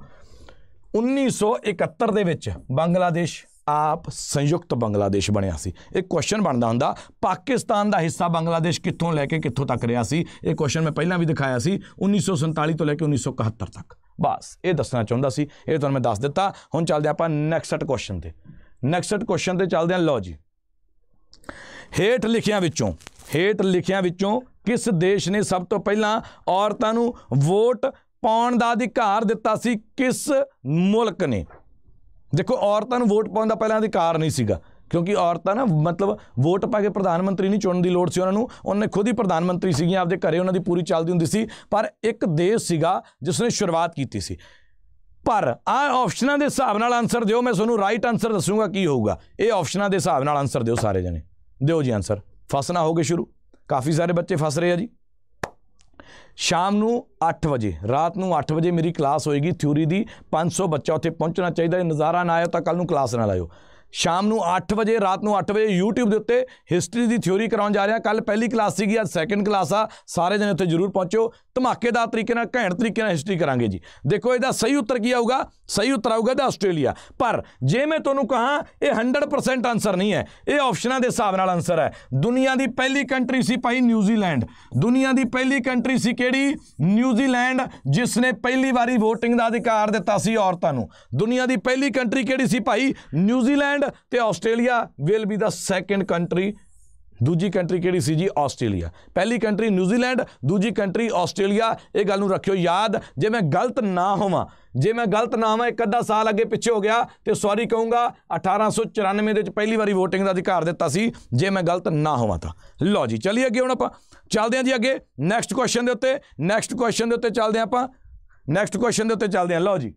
ਨੈਕਸਟ ਕੁਐਸਚਨ ਤੇ ਚੱਲਦੇ ਹਾਂ। ਲਓ ਭਾਈ। ਰਾਜਸਥਾਨ ਵਿੱਚ ਕਿੰਨੇ ਲੋਕ ਸਭਾ ਦੇ ਹਲਕੇ ਨੇ? ਰਾਜਸਥਾਨ ਦੇ ਵਿੱਚ ਕਿੰਨੇ ਲੋਕ ਸਭਾ ਦੇ ਹਲਕੇ ਨੇ? ਲੋਕ ਸਭਾ ਦੇ ਹਲਕੇ ਕਿੰਨੇ ਆ ਭਾਈ ਰਾਜਸਥਾਨ ਦੇ ਵਿੱਚ? ਦਿਓ ਇਸ ਕੁਐਸਚਨ ਦਾ ਸਾਰੇ ਜਣੇ ਜਵਾਬ। 28 20 25 30 28 20 25 30 28 20 25 30 ਕਿੰਨੇ ਹਲਕੇ ਹਲਕੇ ਨੇ ਲੋਕ ਸਭਾ ਦੇ ਰਾਜਸਥਾਨ ਦੇ ਵਿੱਚ? ਸਿਰਫ ਦੋ ਹੋਰ। ਸਿਰਫ ਦੋ ਹੋਰ। ਜਾਓ ਜੀ, ਜਲਦੀ ਨਾਲ। ਜਲਦੀ ਨਾਲ ਇਸ ਕੁਐਸਚਨ ਦਾ ਦਿਓ ਆਨਸਰ ਸਾਰੇ ਜਣੇ। ਵੈਰੀ ਗੁੱਡ ਚਲੋ ਜੀ ਨੈਕਸਟ ਕੁਐਸਚਨ ਤੋਂ ਪਹਿਲਾਂ ਇਹਦਾ ਆਨਸਰ ਦੇਖ ਲਈਏ। 25 ਲੋਕ ਸਭਾ ਦੇ ਹਲਕੇ ਨੇ। ਜੇ ਮੈਂ ਤੁਹਾਨੂੰ ਪੁੱਛਾਂ ਵੀ ਪੰਜਾਬ ਦੇ ਵਿੱਚ ਕਿੰਨੇ ਆ? ਪੰਜਾਬ ਦੇ ਵਿੱਚ ਆ ਭਾਈ 13 ਤੇਰਾ ਬਾਬੇ ਨਾਨਕ ਨੇ ਤੋਲਿਆ ਸੀ ਵੀ ਬੀਬੀ ਨਾਨਕੀ ਤੇ ਭਾਗੋਂ ਦੇ ਪੂਰੇ ਠਕਰਾ ਕੇ ਬੈਠਾ ਹੋਣਾ, ਲਾਲੋਂ ਦੀ ਉਹ ਝੋਪੜੀ 'ਚ ਜਾ ਕੇ, ਹੈ ਨਾ? ਉਹਦਾ ਮੁੱਢ ਤੋਂ ਗਰੀਬਾਂ ਨਾਲ ਵਾਹ, ਨਹੀਂ ਮੈਂ ਤਾਰਿਆਂ ਤੋਂ ਪੁੱਛਦੀ ਫਿਰਾਂ ਕੋਈ ਦੱਸੋ ਨਨਕਾਣੇ ਵਾਲਾ ਰਾਹ। ਇਹ 13 ਲ- ਲੋਕ ਸਭਾ ਦੇ ਹਲਕੇ ਕਿਹਦੇ ਆ ਜੀ? ਪੰਜਾਬ ਦੇ ਆ। ਤੇ 25 ਭਾਈ ਰਾਜਸਥਾਨ ਦੇ ਵਿੱਚ ਹੈ। ਸਭ ਤੋਂ ਵੱਧ, ਸਭ ਤੋਂ ਵੱਧ ਸੀਟਾਂ ਕਿੱਥੇ ਆ ਜੀ? ਉਹ ਹੈ ਯੂਪੀ ਦੇ ਵਿੱਚ, ਪਿਆਰੇ ਸਾਥੀਓ। ਯੂਪੀ ਦੇ ਵਿੱਚ ਸਭ ਤੋਂ ਵੱਧ ਆ ਤੇ ਸਭ ਤੋਂ ਘੱਟ ਕਿੱਥੇ ਆ? ਮੈਨੂੰ ਕਮੈਂਟ ਦੇ ਵਿੱਚ ਦੱਸੋ, ਸਭ ਤੋਂ ਘੱਟ ਸੀਟਾਂ ਕਿੱਥੇ ਆ? ਅਗਲਾ ਕੁਐਸਚਨ ਵੀ ਆ ਰਿਹਾ ਤੇ ਆਪਣੀ ਕਲਾਸ ਦੇ ਵਿੱਚ ਕੋਈ ਖਾਸ ਮਹਿਮਾਨ ਵੀ ਆ ਰਹੇ। ਆਓ ਮੈਡਮ ਜੀ। ਆ ਜਾਓ ਜੀ ਛੇਤੀ ਭੱਜ ਕੇ ਆ ਜਾਓ। ਹਾਂਜੀ ਕਰ ਭਾਈ ਸਾਰੇ ਬੱਚਿਆਂ ਨੂੰ ਗੁੱਡ ਈਵਨਿੰਗ ਬੱਚੇ। ਠੀਕ ਠਾਕ ਹੋ? ਕਲਾਸਾਂ ਵਧੀਆ ਚੱਲ ਰਹੀਆਂ ਤੁਹਾਡੀਆਂ? ਚਲੋ ਯਾਰ ਸਰ ਕਦੋਂ ਦੇ ਕਹੀ ਜਾਂਦੇ ਆ ਲਾਈਕ ਕਰ ਦੋ ਕਰ ਦੋ ਯਾਰ ਲਾਈਕ ਹਨਾ? ਲਾਈਕ 'ਚ ਕਮੀ ਨਾ ਕਰਿਆ 700 ਕਰੋ, ਪਾਰ ਹਨਾ। ਕਰ ਦੋ ਲਾਈਕ ਅੱਜ। ਕਰ ਦੇਣਗੇ ਸਰ ਕੋਈ ਚੱਕਰ ਹੀ ਨਹੀਂ ਹੈਗਾ। ਬਹੁਤ ਪਿਆਰ ਕਰਦੇ ਆ ਬੱਚੇ। ਬੱਚੇ, ਤੁਹਾਨੂੰ ਪਤਾ ਹੈ, ਰੋਜ਼ ਆਪਣੀ ਮੈਥ ਦੀ ਕਲਾਸ ਹੁੰਦੀ ਹੈ 12 ਵਜੇ ਦੁਪਹਿਰੇ, ਹਨਾ? ਹੁਣ ਸੁਣੋ, ਕਈ ਬੱਚੇ ਦਾ ਕਹਿੰਦੇ ਅਸੀਂ ਬੇਸਿਕ ਮੈਥ ਕਰਨਾ ਹੈ। ਉਹਨਾਂ ਨੇ ਤਾਂ ਸਵੇਰੇ 12 ਵਜੇ ਪੈਂ- ਪਹੁੰਚਣਾ ਜਿਹਨੇ ਚੈਪਟਰ ਵਾਈਜ਼ ਕਰਨਾ ਹੈ। ਬਟ ਇੱਕ ਨਵਾਂ ਪ੍ਰੋਸੈਸ ਸ਼ੁਰੂ ਹੋਣ ਜਾ ਰਿਹਾ ਜੇ ਤੁਸੀਂ ਚਾਹੁੰਦੇ ਹੋ ਕਿ ਅਸੀਂ ਪੂਰੇ ਮੈਥ ਦੇ ਕੁਐਸਚਨ ਕਰਨੇ ਆ ਪ੍ਰੈਕਟਿਸ ਸੈਸ਼ਨ ਕਰਨਾ ਹੈ, ਉਹ ਸਾਰੇ ਕਿੰਨੇ ਵਜੇ ਪਹੁੰਚਿਆ ਕਰਨਗੇ? ਸ਼ਾਮ ਦੇ 6 ਵਜੇ। ਮਤਲਬ ਸਰ ਦੀ ਕਲਾਸ ਖਤਮ ਹੋਣ ਤੋਂ ਬਾਅਦ ਕਲਾਸ ਸ਼ੁਰੂ ਹੋਗੀ ਬੱਚੇ ਪ੍ਰੈਕਟਿਸ ਸੈਸ਼ਨ ਪੂਰੇ ਮੈਥ ਦੇ ਕੁਐਸਚਨ ਲੈ ਕੇ ਆਇਆ ਕਰਾਂਗੇ ਤੇ ਜਿਹਨੇ ਚੈਪਟਰ ਕਰਨੇ ਆ, ਉਹ ਦੁਪਹਿਰ ਦੇ 12 ਵਜੇ। ਠੀਕ ਹੈ ਬਾਈ ਸਾਰੇ 12 ਵਜੇ ਤੇ ਪਹੁੰਚਣਾ 6 ਵਜੇ ਨਾ। 6 ਵਜੇ। 12 ਵਜੇ ਤੇ 6 ਵਜੇ ਦੋ ਟਾਈਮ ਮੈਡਮ ਦੀ ਕਲਾਸ ਹੁੰਦੀ ਹੈ। ਇੱਕ ਵਾਰੀ ਮੇਰੇ ਕਹਿੰਦੇ ਤੇ ਲਗਾ ਕੇ ਦੇਖੋ। ਨਜ਼ਾਰਾ ਨਾ ਆਇਆ ਤੇ ਮੈਨੂੰ ਆ ਕੇ ਬੋਲ ਦਿਓ ਮੈਨੂੰ ਆ ਕੇ ਲਾਂਭਾ ਦੇ ਦਿਓ ਠੀਕ ਹੈ? ਜਿਵੇਂ ਹੀ ਮੇਰੀ ਕਲਾਸ ਖਤਮ ਹੋਊਗੀ ਆ ਹੁਣ ਤੋਂ 10 ਮਿੰਟ ਹੋਰ ਕਲਾਸ ਚੱਲਣੀ ਹੈ। 6 ਵਜੇ ਮੈਡਮ ਦੀ ਕਲਾਸ ਦੇ ਸਾਰੇ ਜਣੇ ਛਾਲ ਮਾਰ ਕੇ ਪਹੁੰਚ ਉੱਥੇ ਆਪਾਂ ਵੀ ਹੋਵਾਂਗੇ ਤੇ ਧਮਾਕੇਦਾਰ ਤਰੀਕੇ ਨਾਲ ਮੈਥ ਕਰਾਂਗੇ ਠੀਕ ਹੈ? Punjab police paper Patwari paper ਕਿਹੜਾ ਮਰਜ਼ੀ ਪੇਪਰ ਦੇਣਾ ਮੈਥ ਤੋਂ ਬਿਨਾਂ ਅਧੂਰਾ। ਸਾਰਾ ਕੁਝ ਸਰ ਜੂਗਾ ਮੈਥ ਤੋਂ ਬਿਨਾਂ ਨਹੀਂ ਸਰਨਾ। ਹੁਣ ਕਰਦੇ ਆਪਾਂ ਨੈਕਸਟ ਕੁਐਸਚਨ ਮੈਡਮ ਜੀ। ਥੈਂਕ ਯੂ ਤੁਹਾਡਾ ਬਹੁਤ ਬਹੁਤ ਸ਼ਹਿਦ ਦੇ ਉਤਪਾਦਨ ਨਾਲ ਹੇਠ ਲਿਖੇ ਵਿੱਚੋਂ ਕਿਹੜਾ ਸ਼ਬਦ ਜੁੜਿਆ ਹੋਇਆ ਹੈ? ਸ਼ਹਿਦ ਦੇ ਉਤਪਾਦਨ। ਹਨੀ ਦੀ ਗੱਲ ਕਰ ਰਿਹਾ ਨਾ? ਹਨੀ ਦੀ ਗੱਲ ਕਰ ਰਿਹਾ ਤੇ apiculture will be the right answer. Apiculture will be the right answer by. Apiculture ਕੀ ਆ ਜੀ? ਬਿਲਕੁਲ ਸਹੀ ਉੱਤਰ ਹੈ ਪਿਆਰੇ ਸਾਥੀਓ। ਸ਼ਹਿਦ ਦੇ ਉਤਪਾਦਨ ਨਾਲ ਕੀ ਸੰਬੰਧਿਤ ਹੈ? ਐਪੀਕਲਚਰ, ਸ਼ਹਿਦ ਸ਼ਹਿਦ ਸ਼ਹਿਦ ਪਲੱਸ ਸ਼ਹਿਦ ਪਲੱਸ ਫਲ ਫਰੂਟ ਮਤਲਬ ਬਾਗਬਾਨੀ। ਇਹ ਦੋਵੇਂ ਚੀਜ਼ਾਂ ਦੇ ਰੈਵੋਲੂਸ਼ਨ ਨੂੰ ਕੀ ਕਿਹਾ ਜਾਂਦਾ ਜੀ? 골ਡਨ ਰੈਵੋਲੂਸ਼ਨ 골ਡਨ ਰੈਵੋਲੂਸ਼ਨ ਕਿਹਾ ਜਾਂਦਾ। ਸੁਨਹਿਰੀ ਕ੍ਰਾਂਤੀ ਕਿਸ ਨੂੰ ਕਿਹਾ ਜਾਂਦਾ ਭਾਈ? ਸ਼ਹਿਦ ਅਤੇ ਨਾਲ ਕੀ ਭਾਈ? ਸ਼ਹਿਦ ਦੇ ਨਾਲ ਆਪਣੇ ਫਰੂਟ ਆਪਣੇ ਆਲੂ ਆ, ਅੰਬਾ ਪਪੀਤੇ ਆ, ਜੋ ਵੀ ਆ, ਸਾਰੇ ਦੇ ਸਾਰੇ ਫਲਾਂ ਦੀ ਕ੍ਰਾਂਤੀ ਨੂੰ ਕਿਹਾ ਜਾਂਦਾ ਜੀ ਭਾਈ? ਗੋਲਡਨ ਰੈਵੋਲੂਸ਼ਨ ਭਾਰਤ ਦੇ ਲੌਹ ਪੁਰਸ਼ ਵਜੋਂ, ਭਾਰਤ ਦੇ ਲੌਹ ਪੁਰਸ਼ ਵਜੋਂ ਕਿਸ ਨੂੰ ਜਾਣਿਆ ਜਾਂਦਾ ਹੈ? ਜੀ। ਭਾਰਤ ਦੇ ਲੌਹ ਪੁਰਸ਼ ਵਜੋਂ ਕਿਸ ਨੂੰ ਜਾਣਿਆ ਜਾਂਦਾ ਹੈ? ਜੀ, ਸਾਰੇ ਜਣੇ ਇਸ ਕੁਐਸਚਨ ਦਾ ਜਵਾਬ ਦੇ ਦਿਓ। ਭਾਰਤ ਦੇ ਲੌਹ ਪੁਰਸ਼ ਵਜੋਂ ਕਿਸ ਨੂੰ ਜਾਣਿਆ ਜਾਂਦਾ? ਕਹਿਣ ਦਾ ਮਤਲਬ iron man of India iron man of India 8 ਵਜੇ ਕਿਹੜੇ ਕਿਹੜੇ ਆ ਰਹੇ ਆ ਹਿਸਟਰੀ ਦੀ ਕਲਾਸ ਦੇ ਵਿੱਚ? ਇੱਕ ਵਾਰੀ ਹੱਥ ਖੜਾ ਕਰ ਦਿਓ। 8 ਵਜੇ ਕਿਹੜੇ ਕਿਹੜੇ ਆ ਰਹੇ ਆ ਜੀ? ਹਿਸਟਰੀ ਦੀ ਕਲਾਸ ਦੇ ਵਿੱਚ ਇੱਕ ਵਾਰੀ ਹੱਥ ਖੜਾ ਕਰ ਦਿਓ ਸਾਰੇ ਜਣੇ ਵੀ ਸਰ, ਅਸੀਂ 8 ਵਜੇ ਆ ਰਹੇ ਆ 8 ਵਜੇ ਕਿਹੜੇ ਕਿਹੜੇ ਹਿਸਟਰੀ ਦੀ ਕਲਾਸ ਤੇ YouTube ਦੇ ਵਿੱਚ ਆਉਣਗੇ? ਜਲਦੀ ਨਾਲ ਹੱਥ ਖੜਾ ਕਰਕੇ ਦੱਸ ਦਿਓ, ਘੈਂਟ, ਧਮਾਕੇਦਾਰ, ਜਾਨਦਾਰ, ਸ਼ਾਨਦਾਰ ਕਲਾਸ ਹੋਏਗੀ ਉਹ ਵੀ। ਉਹ ਵੀ ਬਿਲਕੁਲ ਜ਼ਬਰਦਸਤ ਲੈਵਲ ਦੀ ਕਲਾਸ ਹੋਏਗੀ ਜੀ। ਵੱਲਭ ਭਾਈ ਪਟੇਲ, ਬਿਲਕੁਲ ਚੂਰਨ ਸਵਾਲ ਆ। ਵੱਲਭ ਭਾਈ ਪਟੇਲ, ਬਿਲਕੁਲ ਸੌਖਾ ਸਵਾਲ ਆ। ਜਿਨ੍ਹਾਂ ਨੇ ਦੇਖੋ ਸਿਲੇਬਸ ਕਰ ਲਿਆ, ਉਹਨਾਂ ਵਾਸਤੇ ਤਾਂ ਇਹ ਕਲਾਸਾਂ ਬਿਲਕੁਲ ਘਿਓ ਦਾ ਕੰਮ ਕਰ ਰਹੀਆਂ ਨੇ। ਜਿਨ੍ਹਾਂ ਨੇ ਸਿਲੇਬਸ ਕਰ ਲਿਆ, ਉਹਨਾਂ ਵਾਸਤੇ ਕਲਾਸਾਂ ਘਿਓ ਦਾ ਕੰਮ ਕਰ ਰਹੀਆਂ। ਜਿਨ੍ਹਾਂ ਨੇ ਸਿਲੇਬਸ ਨਹੀਂ ਕੀਤਾ ਉਹ ਸਿਲੇਬਸ ਦੇ ਵੱਲ ਹੋ ਜਾਓ, ਕਿਉਂਕਿ ਇਹ ਕਲਾਸਾਂ ਕੱਲੀ ਪ੍ਰੈਕਟਿਸ ਕਰਾ ਸਕਦੀਆਂ। ਇਹ ਕਲਾਸਾਂ ਤੁਹਾਡੀ ਕੱਲੀ ਪ੍ਰੈਕਟਿਸ ਕਰਾ ਸਕਦੀਆਂ। ਸ਼ਾਮ ਨੂੰ ਮੇਰੀ 8 ਵਜੇ ਵਾਲੀ ਕਲਾਸ ਦੇ ਵਿੱਚ ਜਰੂਰ ਜੁੜਿਓ ਸਾਰੇ ਜਣੇ। ਮੈਂ ਪਹਿਲਾਂ ਕਹਿ ਰਿਹਾ, ਬਹੁਤ ਧਮਾਕੇਦਾਰ ਕਲਾਸ ਹੋਏਗੀ। ਇਹ ਕਲਾਸਾਂ ਸਿਲੇਬਸ ਨਹੀਂ ਕਰਵਾ ਰਹੀਆਂ, ਜਿਹੜੀ ਇਹ ਕਲਾਸ ਆਪਣੀ 5 ਵਜੇ ਵਾਲੀ ਹੋਗੀ ਜਾਂ ਬਾਕੀ ਐਮਸੀਕਿਊ ਦੀਆਂ ਕਲਾਸਾਂ, ਇਹ ਸਾਰੀਆਂ ਪ੍ਰੈਕਟਿਸ ਕਰਾ ਰਹੀਆਂ ਨੇ। ਸਿਲੇਬਸ ਡਿਟੇਲ ਦੇ ਵਿੱਚ ਕਰਕੇ ਆਓ ਪਿਆਰੇ ਸਾਥੀਓ। ਸਿਲੇਬਸ ਨੂੰ ਚੰਗੀ ਤਰ੍ਹਾਂ ਡਿਟੇਲ ਦੇ ਵਿੱਚ ਕਰਨ ਦੀ ਕੋਸ਼ਿਸ਼ ਕਰੋ। ਆਜ਼ਾਦ ਭਾਰਤ ਦਾ ਪਹਿਲਾ ਸਿਹਤ ਮੰਤਰੀ ਕੌਣ ਸੀ? ਆਜ਼ਾਦ ਭਾਰਤ ਦਾ ਪਹਿਲਾ ਸਿਹਤ ਮੰਤਰੀ ਕੌਣ ਸੀ ਭਾਈ Raj Kumari Amrit Kaur will be the right answer Amrit Kaur will be the right answer Raj Kumari Amrit Kaur will be the right answer ਲਓ ਜੀ। ਕਹਿੰਦੇ ਜੀ, ਕਿਸ ਸਾਬਕਾ ਰਾਸ਼ਟਰਪਤੀ ਨੂੰ ਲਗਾਤਾਰ ਦੋ ਵਾਰ ਸੇਵਾ ਕਰਨ ਦਾ ਵਿਲੱਖਣ ਮੌਕਾ ਮਿਲਿਆ? ਕਿਹੜਾ ਰਾਸ਼ਟਰਪਤੀ ਹੈ ਜਿਹੜਾ ਲਗਾਤਾਰ ਦੋ ਵਾਰੀ ਜਿੱਤਿਆ ਭਾਰਤ ਦੇ ਵਿੱਚ? ਰਜਿੰਦਰ ਪ੍ਰਸਾਦ ਫਕਰੂਦੀਨ ਅਲੀ ਅਹਿਮਦ, ਸੁਬਰਮਨੀਅਮ, ਭਾਰਤੀ ਜਾਂ ਗਿਆਨੀ ਜੈਲ ਸਿੰਘ? ਦੱਸੋ ਭਾਈ।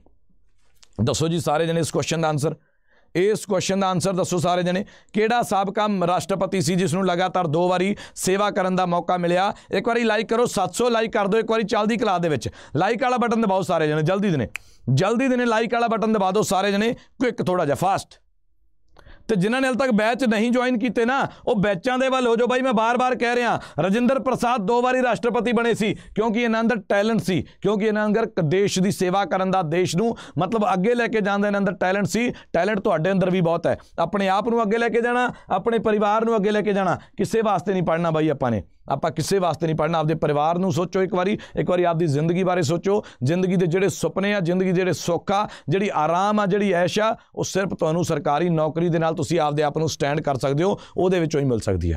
ਉਹਦੇ ਵਿੱਚੋਂ ਹੀ ਮਿਲ ਸਕਦੀ ਆ, ਹੋਰ ਕਿਤੋਂ ਨਹੀਂ ਮਿਲ ਸਕਦੀ। ਤੇ ਨੌਕਰੀ ਦੀ ਤਿਆਰੀ ਕੋਈ ਬਾਹਲੀ ਲੰਬੀ ਚੌੜੀ ਗੱਲ ਨਹੀਂ ਹੈ ਸਿਰਫ 6 ਮਹੀਨੇ ਦੇਣੇ ਆ। ਸਿਰਫ 6 ਮਹੀਨੇ ਦੇਣੇ ਆ ਆਪਦੀ ਜ਼ਿੰਦਗੀ ਦੇ, ਸਿਰਫ 6 ਮੰਥ ਸਿਰਫ 6 ਮਹੀਨੇ ਮੰਗਦੀ ਆ ਤੁਹਾਡੇ ਤੋਂ। ਸਿਲੇਬਸ ਕਿੱਥੋਂ ਕਰਨਾ? ਸਿਲੇਬਸ ਕਰਨ ਵਾਸਤੇ ਪਿਆਰੇ ਸਾਥੀਓ, ਕਹਿੰਦੇ ਸਿਲੇਬਸ ਕਿੱਥੋਂ ਕਰਨਾ ਸਰ ਜੇ ਕਾਂਸਟੇਬਲ ਵਾਲੇ ਹੋ, ਜੇ ਕਾਂਸਟੇਬਲ ਵਾਲੇ ਹੋ, ਤਾਂ ਤੁਸੀਂ ਕੀ ਕਰਨਾ? ਤੁਸੀਂ ਮਾਲਵਾ ਬੈਚ ਜੁਆਇਨ ਕਰਨਾ ਜੀ। ਤੁਸੀਂ ਕਿਹੜਾ ਜੁਆਇਨ ਕਰਨਾ? ਮਾਲਵਾ 5.0 ਬੈਚ ਜੇ ਤੁਸੀਂ ਹੈਗੇ ਹੋ ਪਟਵਾਰੀ ਵਾਲੇ, ਫਿਰ ਕਰਮਵੀਰ ਬੈਚ ਜੁਆਇਨ ਕਰਨਾ। ਜੇ ਮਾਝਾ ਬੈਚ ਜੁਆਇਨ ਕਰੋਗੇ, ਫਿਰ ਸਬ ਇੰਸਪੈਕਟਰ ਦੀ ਤਿਆਰੀ ਜੁਆਇਨ ਕਿੱਦਾਂ ਕਰਨਾ? ਉਹ ਮੈਂ ਤੁਹਾਨੂੰ ਦੱਸ ਦਿੰਦਾ ਜੁਆਇਨ ਕਿੱਦਾਂ ਕਰਨਾ ਉਹ ਤੁਹਾਨੂੰ ਮੈਂ ਦੱਸ ਦਿੰਨਾ। ਆ ਲਓ ਜੀ, ਇਸ ਕੁਐਸਚਨ ਦਾ ਆਨਸਰ ਵੀ ਆਪਾਂ ਵੇਖ ਲਿਆ। ਆ ਵੇਖੋ for maximum discount on any batch ਕਿਹੜਾ ਮਰਜ਼ੀ ਬੈਚ ਲੈਣਾ ਹੋਵੇ ਮੈਕਸਿਮਮ ਡਿਸਕਾਊਂਟ ਲੈਣਾ ਚਾਹੁੰਦੇ ਹੋ, ਕਿਸੇ ਮਰਜ਼ੀ ਵੀਡੀਓ ਕੋਰਸ ਦੇ ਉੱਤੇ। ਤੇ ਕੋਡ ਕਿਹੜਾ ਯੂਜ਼ ਕਰਨਾ? ਜੇ ਮੇਰੇ ਨਾਲ ਜੁੜਨਾ, ਜੇ ਮੇਰੀ ਮੈਂਟੋਰਸ਼ਿਪ ਦੇ ਅੰਡਰ ਆਉਣਾ, ਇੱਕ ਵਾਰੀ ਕਮੈਂਟ ਦੇ ਵਿੱਚ ਦੱਸੋ ਕਿਹੜਾ ਕੋਡ ਯੂਜ਼ ਕਰਨਾ। ਮੇਰੇ ਕੋਡ ਕਿਹੜੇ ਕਿਹੜੇ ਨੂੰ ਪਤਾ ਵੀ ਇਹ ਸਰ ਇਹ ਤਿੰਨ ਡਿਜਿਟ ਦਾ ਜਿਹੜਾ ਕੋਡ ਹੈ ਮਨੋਜ ਸਰ ਦੇ ਅੰਡਰ ਲੈ ਕੇ ਆਉਂਦਾ, ਇਹ ਮਨੋਜ ਸਰ ਦੀ ਮੈਂਟੋਰਸ਼ਿਪ ਦੇ ਅੰਡਰ ਲੈ ਕੇ ਆਉਂਦਾ। ਉਹ ਸਾਰੇ ਜਣੇ ਇੱਕ ਵਾਰੀ ਕਮੈਂਟ ਬਾਕਸ ਦੇ ਵਿੱਚ ਲਿਖੋ ਵਾਈ y 679 ਕਿਹੜਾ ਕੋਡ ਯੂਜ਼ ਕਰਨਾ? y679 ਜਿਹੜਾ ਕੋਡ ਹੈ, ਇਹ ਯੂਜ਼ ਕਰਨਾ ਕਿਹੜੇ ਬੈਚ ਵਾਸਤੇ? ਕਿਹੜਾ ਮਰਜ਼ੀ ਬੈਚ ਹੋਵੇ। ਵਾਈ 679 ਆਰਮੀ ਦਾ ਹਿੱਸਾ ਬਣਨਾ ਆਪਾਂ। ਇਹ ਉਹ ਆਰਮੀ ਹੈ ਜਿਨ੍ਹਾਂ ਨੂੰ ਲੀਡ ਮੈਂ ਕਰ ਰਿਹਾ।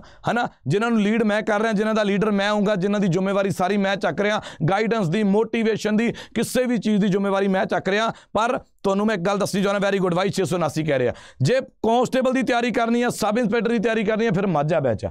ਮਾਝਾ ਬੈਚ 5.0 ਆ ਲਿਖਿਆ ਪਿਆ 7 ਮਾਰਚ ਨੂੰ ਸ਼ੁਰੂ ਹੋ ਰਿਹਾ। ਹਲੇ ਟਾਈਮ ਆ, ਫਿਰ ਫੀਸ ਵੱਧ ਜਾਣੀ ਹੈ ਮਾਲਵਾ ਬੈਚ, ਇਹ ਵੀ 7 ਤਰੀਕ ਨੂੰ ਸ਼ੁਰੂ ਹੋ ਰਿਹਾ। ਇਹ ਮਾਲਵਾ ਬੈਚ ਕਾਦੇ ਵਾਸਤੇ ਹੈ ਕਾਂਸਟੇਬਲ ਵਾਸਤੇ। ਕਿਹੜਾ ਮਰਜ਼ੀ ਬੈਚ ਲੈਣਾ ਹੋਵੇ, ਸਾਰੇ ਪੇਪਰਾਂ ਦੀ ਤਿਆਰੀ ਤੁਹਾਨੂੰ ਮਿਲੂਗੀ।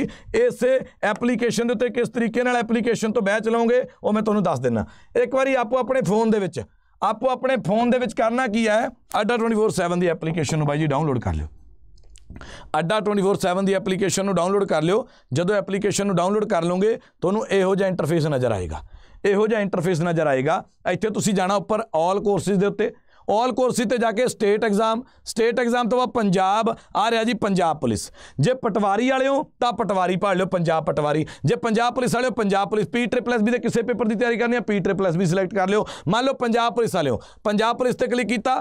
ਆ ਰਹੇ ਜੀ ਬੈਚ ਅੱਜ ਡਬਲ ਵੈਲਿਡਿਟੀ ਚੱਲ ਰਹੀ ਹੈ ਪਿਆਰੇ ਸਾਥੀਓ, ਜਿਹੜਾ ਬੈਚ 1 ਮਹੀਨੇ ਵਾਸਤੇ 6 ਮਹੀਨੇ ਵਾਸਤੇ ਮਿਲਦਾ ਸੀ, ਅੱਜ ਸਾਲ ਵਾਸਤੇ ਮਿਲ ਰਿਹਾ, ਸਾਲ ਵਾਲਾ 2 ਸਾਲਾਂ ਵਾਸਤੇ ਮਿਲ ਰਿਹਾ। ਜੇ ਇਕੱਲੇ ਕਾਂਸਟੇਬਲ ਵਾਲੇ ਹੋ, ਫਿਰ ਆ ਰਿਹਾ ਮਾਲਵਾ ਬੈਚ 5.0 ਜੇ ਕੱਲੇ ਸਬ ਇੰਸਪੈਕਟਰ ਵਾਲੇ ਹੋ ਫਿਰ ਮਾਝਾ ਬੈਚ। ਜੇ ਸਬ ਇੰਸਪੈਕਟਰ ਵੀ ਦੇਣਾ ਜੇ ਮਾ- ਆਪਣਾ ਕਾਂਸਟੇਬਲ ਵੀ ਦੇਣਾ ਪਟਵਾਰੀ ਵੀ ਦੇਣਾ ਨੈਬ ਤਹਿਸੀਲਦਾਰ ਆਊ ਉਹ ਵੀ ਦੇਣਾ ਸਾਰੇ ਪੇਪਰ ਦੇਣੇ ਆ, ਫਿਰ ਪੰਜਾਬ ਦਾ ਮਹਾਪੈਕ ਰਾਮਬਾਣ ਇਲਾਜ ਆ। ਇਹਦੇ ਵਿੱਚ ਤੁਹਾਨੂੰ 1 ਸਾਲ ਵਾਸਤੇ ਤਿਆਰੀ ਕਰਵਾਈ ਜਾਂਦੀ ਸੀ। ਪਰ ਅੱਜ 2 ਸਾਲਾਂ ਵਾਸਤੇ ਆਫਰ ਚੱਲ ਰਿਹਾ। ਆ ਡਬਲ ਵੈਲਿਡਿਟੀ ਵੱਡੇ ਵੱਡੇ ਅੱਖਰਾਂ 'ਚ ਲਿਖਿਆ ਪਿਆ। ਤੁਹਾਨੂੰ ਦੱਸ ਦੇਣਾ ਜੁਆਇਨ ਕਿੱਦਾਂ ਹੋਊਗਾ। ਮਹਾਪੈਕ ਤੇ ਕਲਿੱਕ ਕਰ ਦਿਓ। ਆ ਲਿਖਿਆ ਪਿਆ ਜੀ ਵਿਊ ਆਫਰ ਕੀ ਲਿਖਿਆ ਪਿਆ? ਵਿਊ ਆਫਰ ਦੇਖੋ ਧਿਆਨ ਨਾਲ ਦੇਖੋਗੇ ਤੁਹਾਨੂੰ ਦਿਖੂਗਾ ਵਿਊ ਆਫਰ ਇਹਦੇ ਉੱਤੇ ਕਲਿੱਕ ਕਰਤਾ। ਜਦੋਂ ਮੈਂ ਇਹਦੇ ਉੱਤੇ ਕਲਿੱਕ ਕੀਤਾ ਭਾਈ ਜੀ ਆ ਫੀਸ ਲਿਖੀ ਹੋਈ ਆ 13999 ਇੱਥੇ ਕੋਡ ਕਿਹੜਾ ਯੂਜ਼ ਕਰਨਾ? ਆਰਮੀ ਕਿਹੜੀ ਆ ਆਪਣੀ? Y679 Y679 ਆਰਮੀ ਦਾ ਹਿੱਸਾ ਬਣਨ ਵਾਸਤੇ। ਆ ਲਓ ਜੀ ਕੋਡ ਕਰ ਲਿਆ ਮੈਂ ਯੂਜ਼ ਇਹ ਫੀਸ ਘਟ ਕੇ 14000 ਦੀ ਥਾਂ ਤੇ ਕਿੰਨੀ ਰਹਿ ਗਈ ਭਾਈ? ਤੇ 3200 ਤੇ 19 ਰੁਪਏ। 3219 ਵੀ ਨਹੀਂ ਭਰਨੀ। ਜੇ ਫਾਇਦਾ ਕਰਾਂਗੇ, ਚੰਗੀ ਤਰ੍ਹਾਂ ਕਰਾਂਗੇ ਫੋਨ 'ਚ ਐਪਲੀਕੇਸ਼ਨ ਡਾਊਨਲੋਡ ਕਰ ਲਿਓ 3080 ਦਾ ਪੈ ਜਾਊਗਾ। ਫੋਨ ਦੇ ਵਿੱਚ ਐਪਲੀਕੇਸ਼ਨ ਡਾਊਨਲੋਡ ਕਰ ਲਿਓ 3080 ਦਾ ਪੈ ਜਾਊਗਾ। ਇਹ ਮਹਾਪੈਕ ਦੇ ਵਿੱਚ ਕੀ ਕੁਛ ਆ ਜੀ? ਪੂਰੇ 2 ਸਾਲਾਂ ਵਾਸਤੇ ਅੱਜ ਦਾ ਦਿਨ ਆਫਰ ਆ, ਫਿਰ ਆਫਰ ਚੱਲਿਆ ਜਾਣਾ। ਇਹ ਵੈਲਿਡਿਟੀ ਫਿਰ ਘਟ ਜਾਣੀ ਹੈ 1 ਸਾਲ ਵਾਸਤੇ ਮਿਲੂਗਾ। ਪੂਰੇ 2 ਸਾਲਾਂ ਵਾਸਤੇ ਜਿੰਨੇ ਵੀ ਪੇਪਰਾਂ ਦੀ ਤਿਆਰੀ ਅਸੀਂ ਪੰਜਾਬ ਅੱਡਾ ਤੇ ਕਰਾਵਾਂਗੇ, ਸਾਰੇ ਪੇਪਰਾਂ ਦੀ ਤਿਆਰੀ ਤੁਹਾਨੂੰ ਮਿਲੂਗੀ। ਸਾਰੇ ਪੇਪਰਾਂ ਦੀ ਤਿਆਰੀ ਤੁਸੀਂ ਉਹਦੇ ਵਿੱਚੋਂ ਕਰ ਸਕਦੇ ਹੋ। ਇਹ ਗੱਲ ਨੂੰ ਮੈਨੂੰ ਚੇਤੇ ਰੱਖਿਓ। ਕੋਡ ਕਿਹੜਾ ਯੂਜ਼ ਕਰਨਾ? ਮੇਰੀ ਮੈਂਟੋਰਸ਼ਿਪ ਦੇ ਅੰਡਰ ਆਉਣ ਵਾਸਤੇ Y679 ਤੁਹਾਡੀ ਮੋਟੀਵੇਸ਼ਨ ਦੀ, ਤੁਹਾਡੀਆਂ ਸਾਰੀਆਂ ਚੀਜ਼ਾਂ ਦੀ ਜ਼ਿੰਮੇਵਾਰੀ ਮੇਰੀ ਆ। Y679 ਆਰਮੀ ਦੇ ਵਿੱਚ ਹੋ ਜੋ ਐਡ ਕਿਹੜੀ, ਕਿਹੜਾ ਕੋਡ ਯੂਜ਼ ਕਰਕੇ Y679 ਕਲਾਸ ਕਿੱਦਾਂ ਦੀ ਲੱਗੀ? ਕਿੱਦਾਂ ਦੀ ਨਹੀਂ ਲੱਗੀ? ਮੈਨੂੰ ਕਮੈਂਟ ਬਾਕਸ ਦੇ ਵਿੱਚ ਦੱਸ ਕੇ ਜਾਓਗੇ। ਹੁਣ ਕਲਾਸ ਦੇ ਵਿੱਚ ਇੰਨਾ ਹੀ ਹੈ ਜੀ। ਸ਼ਾਮ ਨੂੰ 8 ਵਜੇ ਆਪਣੀ ਥਿਊਰੀ ਦੀ ਕਲਾਸ ਦੇ ਵਿੱਚ ਸਭ ਨੇ ਪਹੁੰਚਣਾ। ਉਹ ਤੱਕ ਸਭ ਨੂੰ ਸਤਿ ਸ਼੍ਰੀ ਅਕਾਲ। ਆਦਾਬ, ਨਮਸਕਾਰ।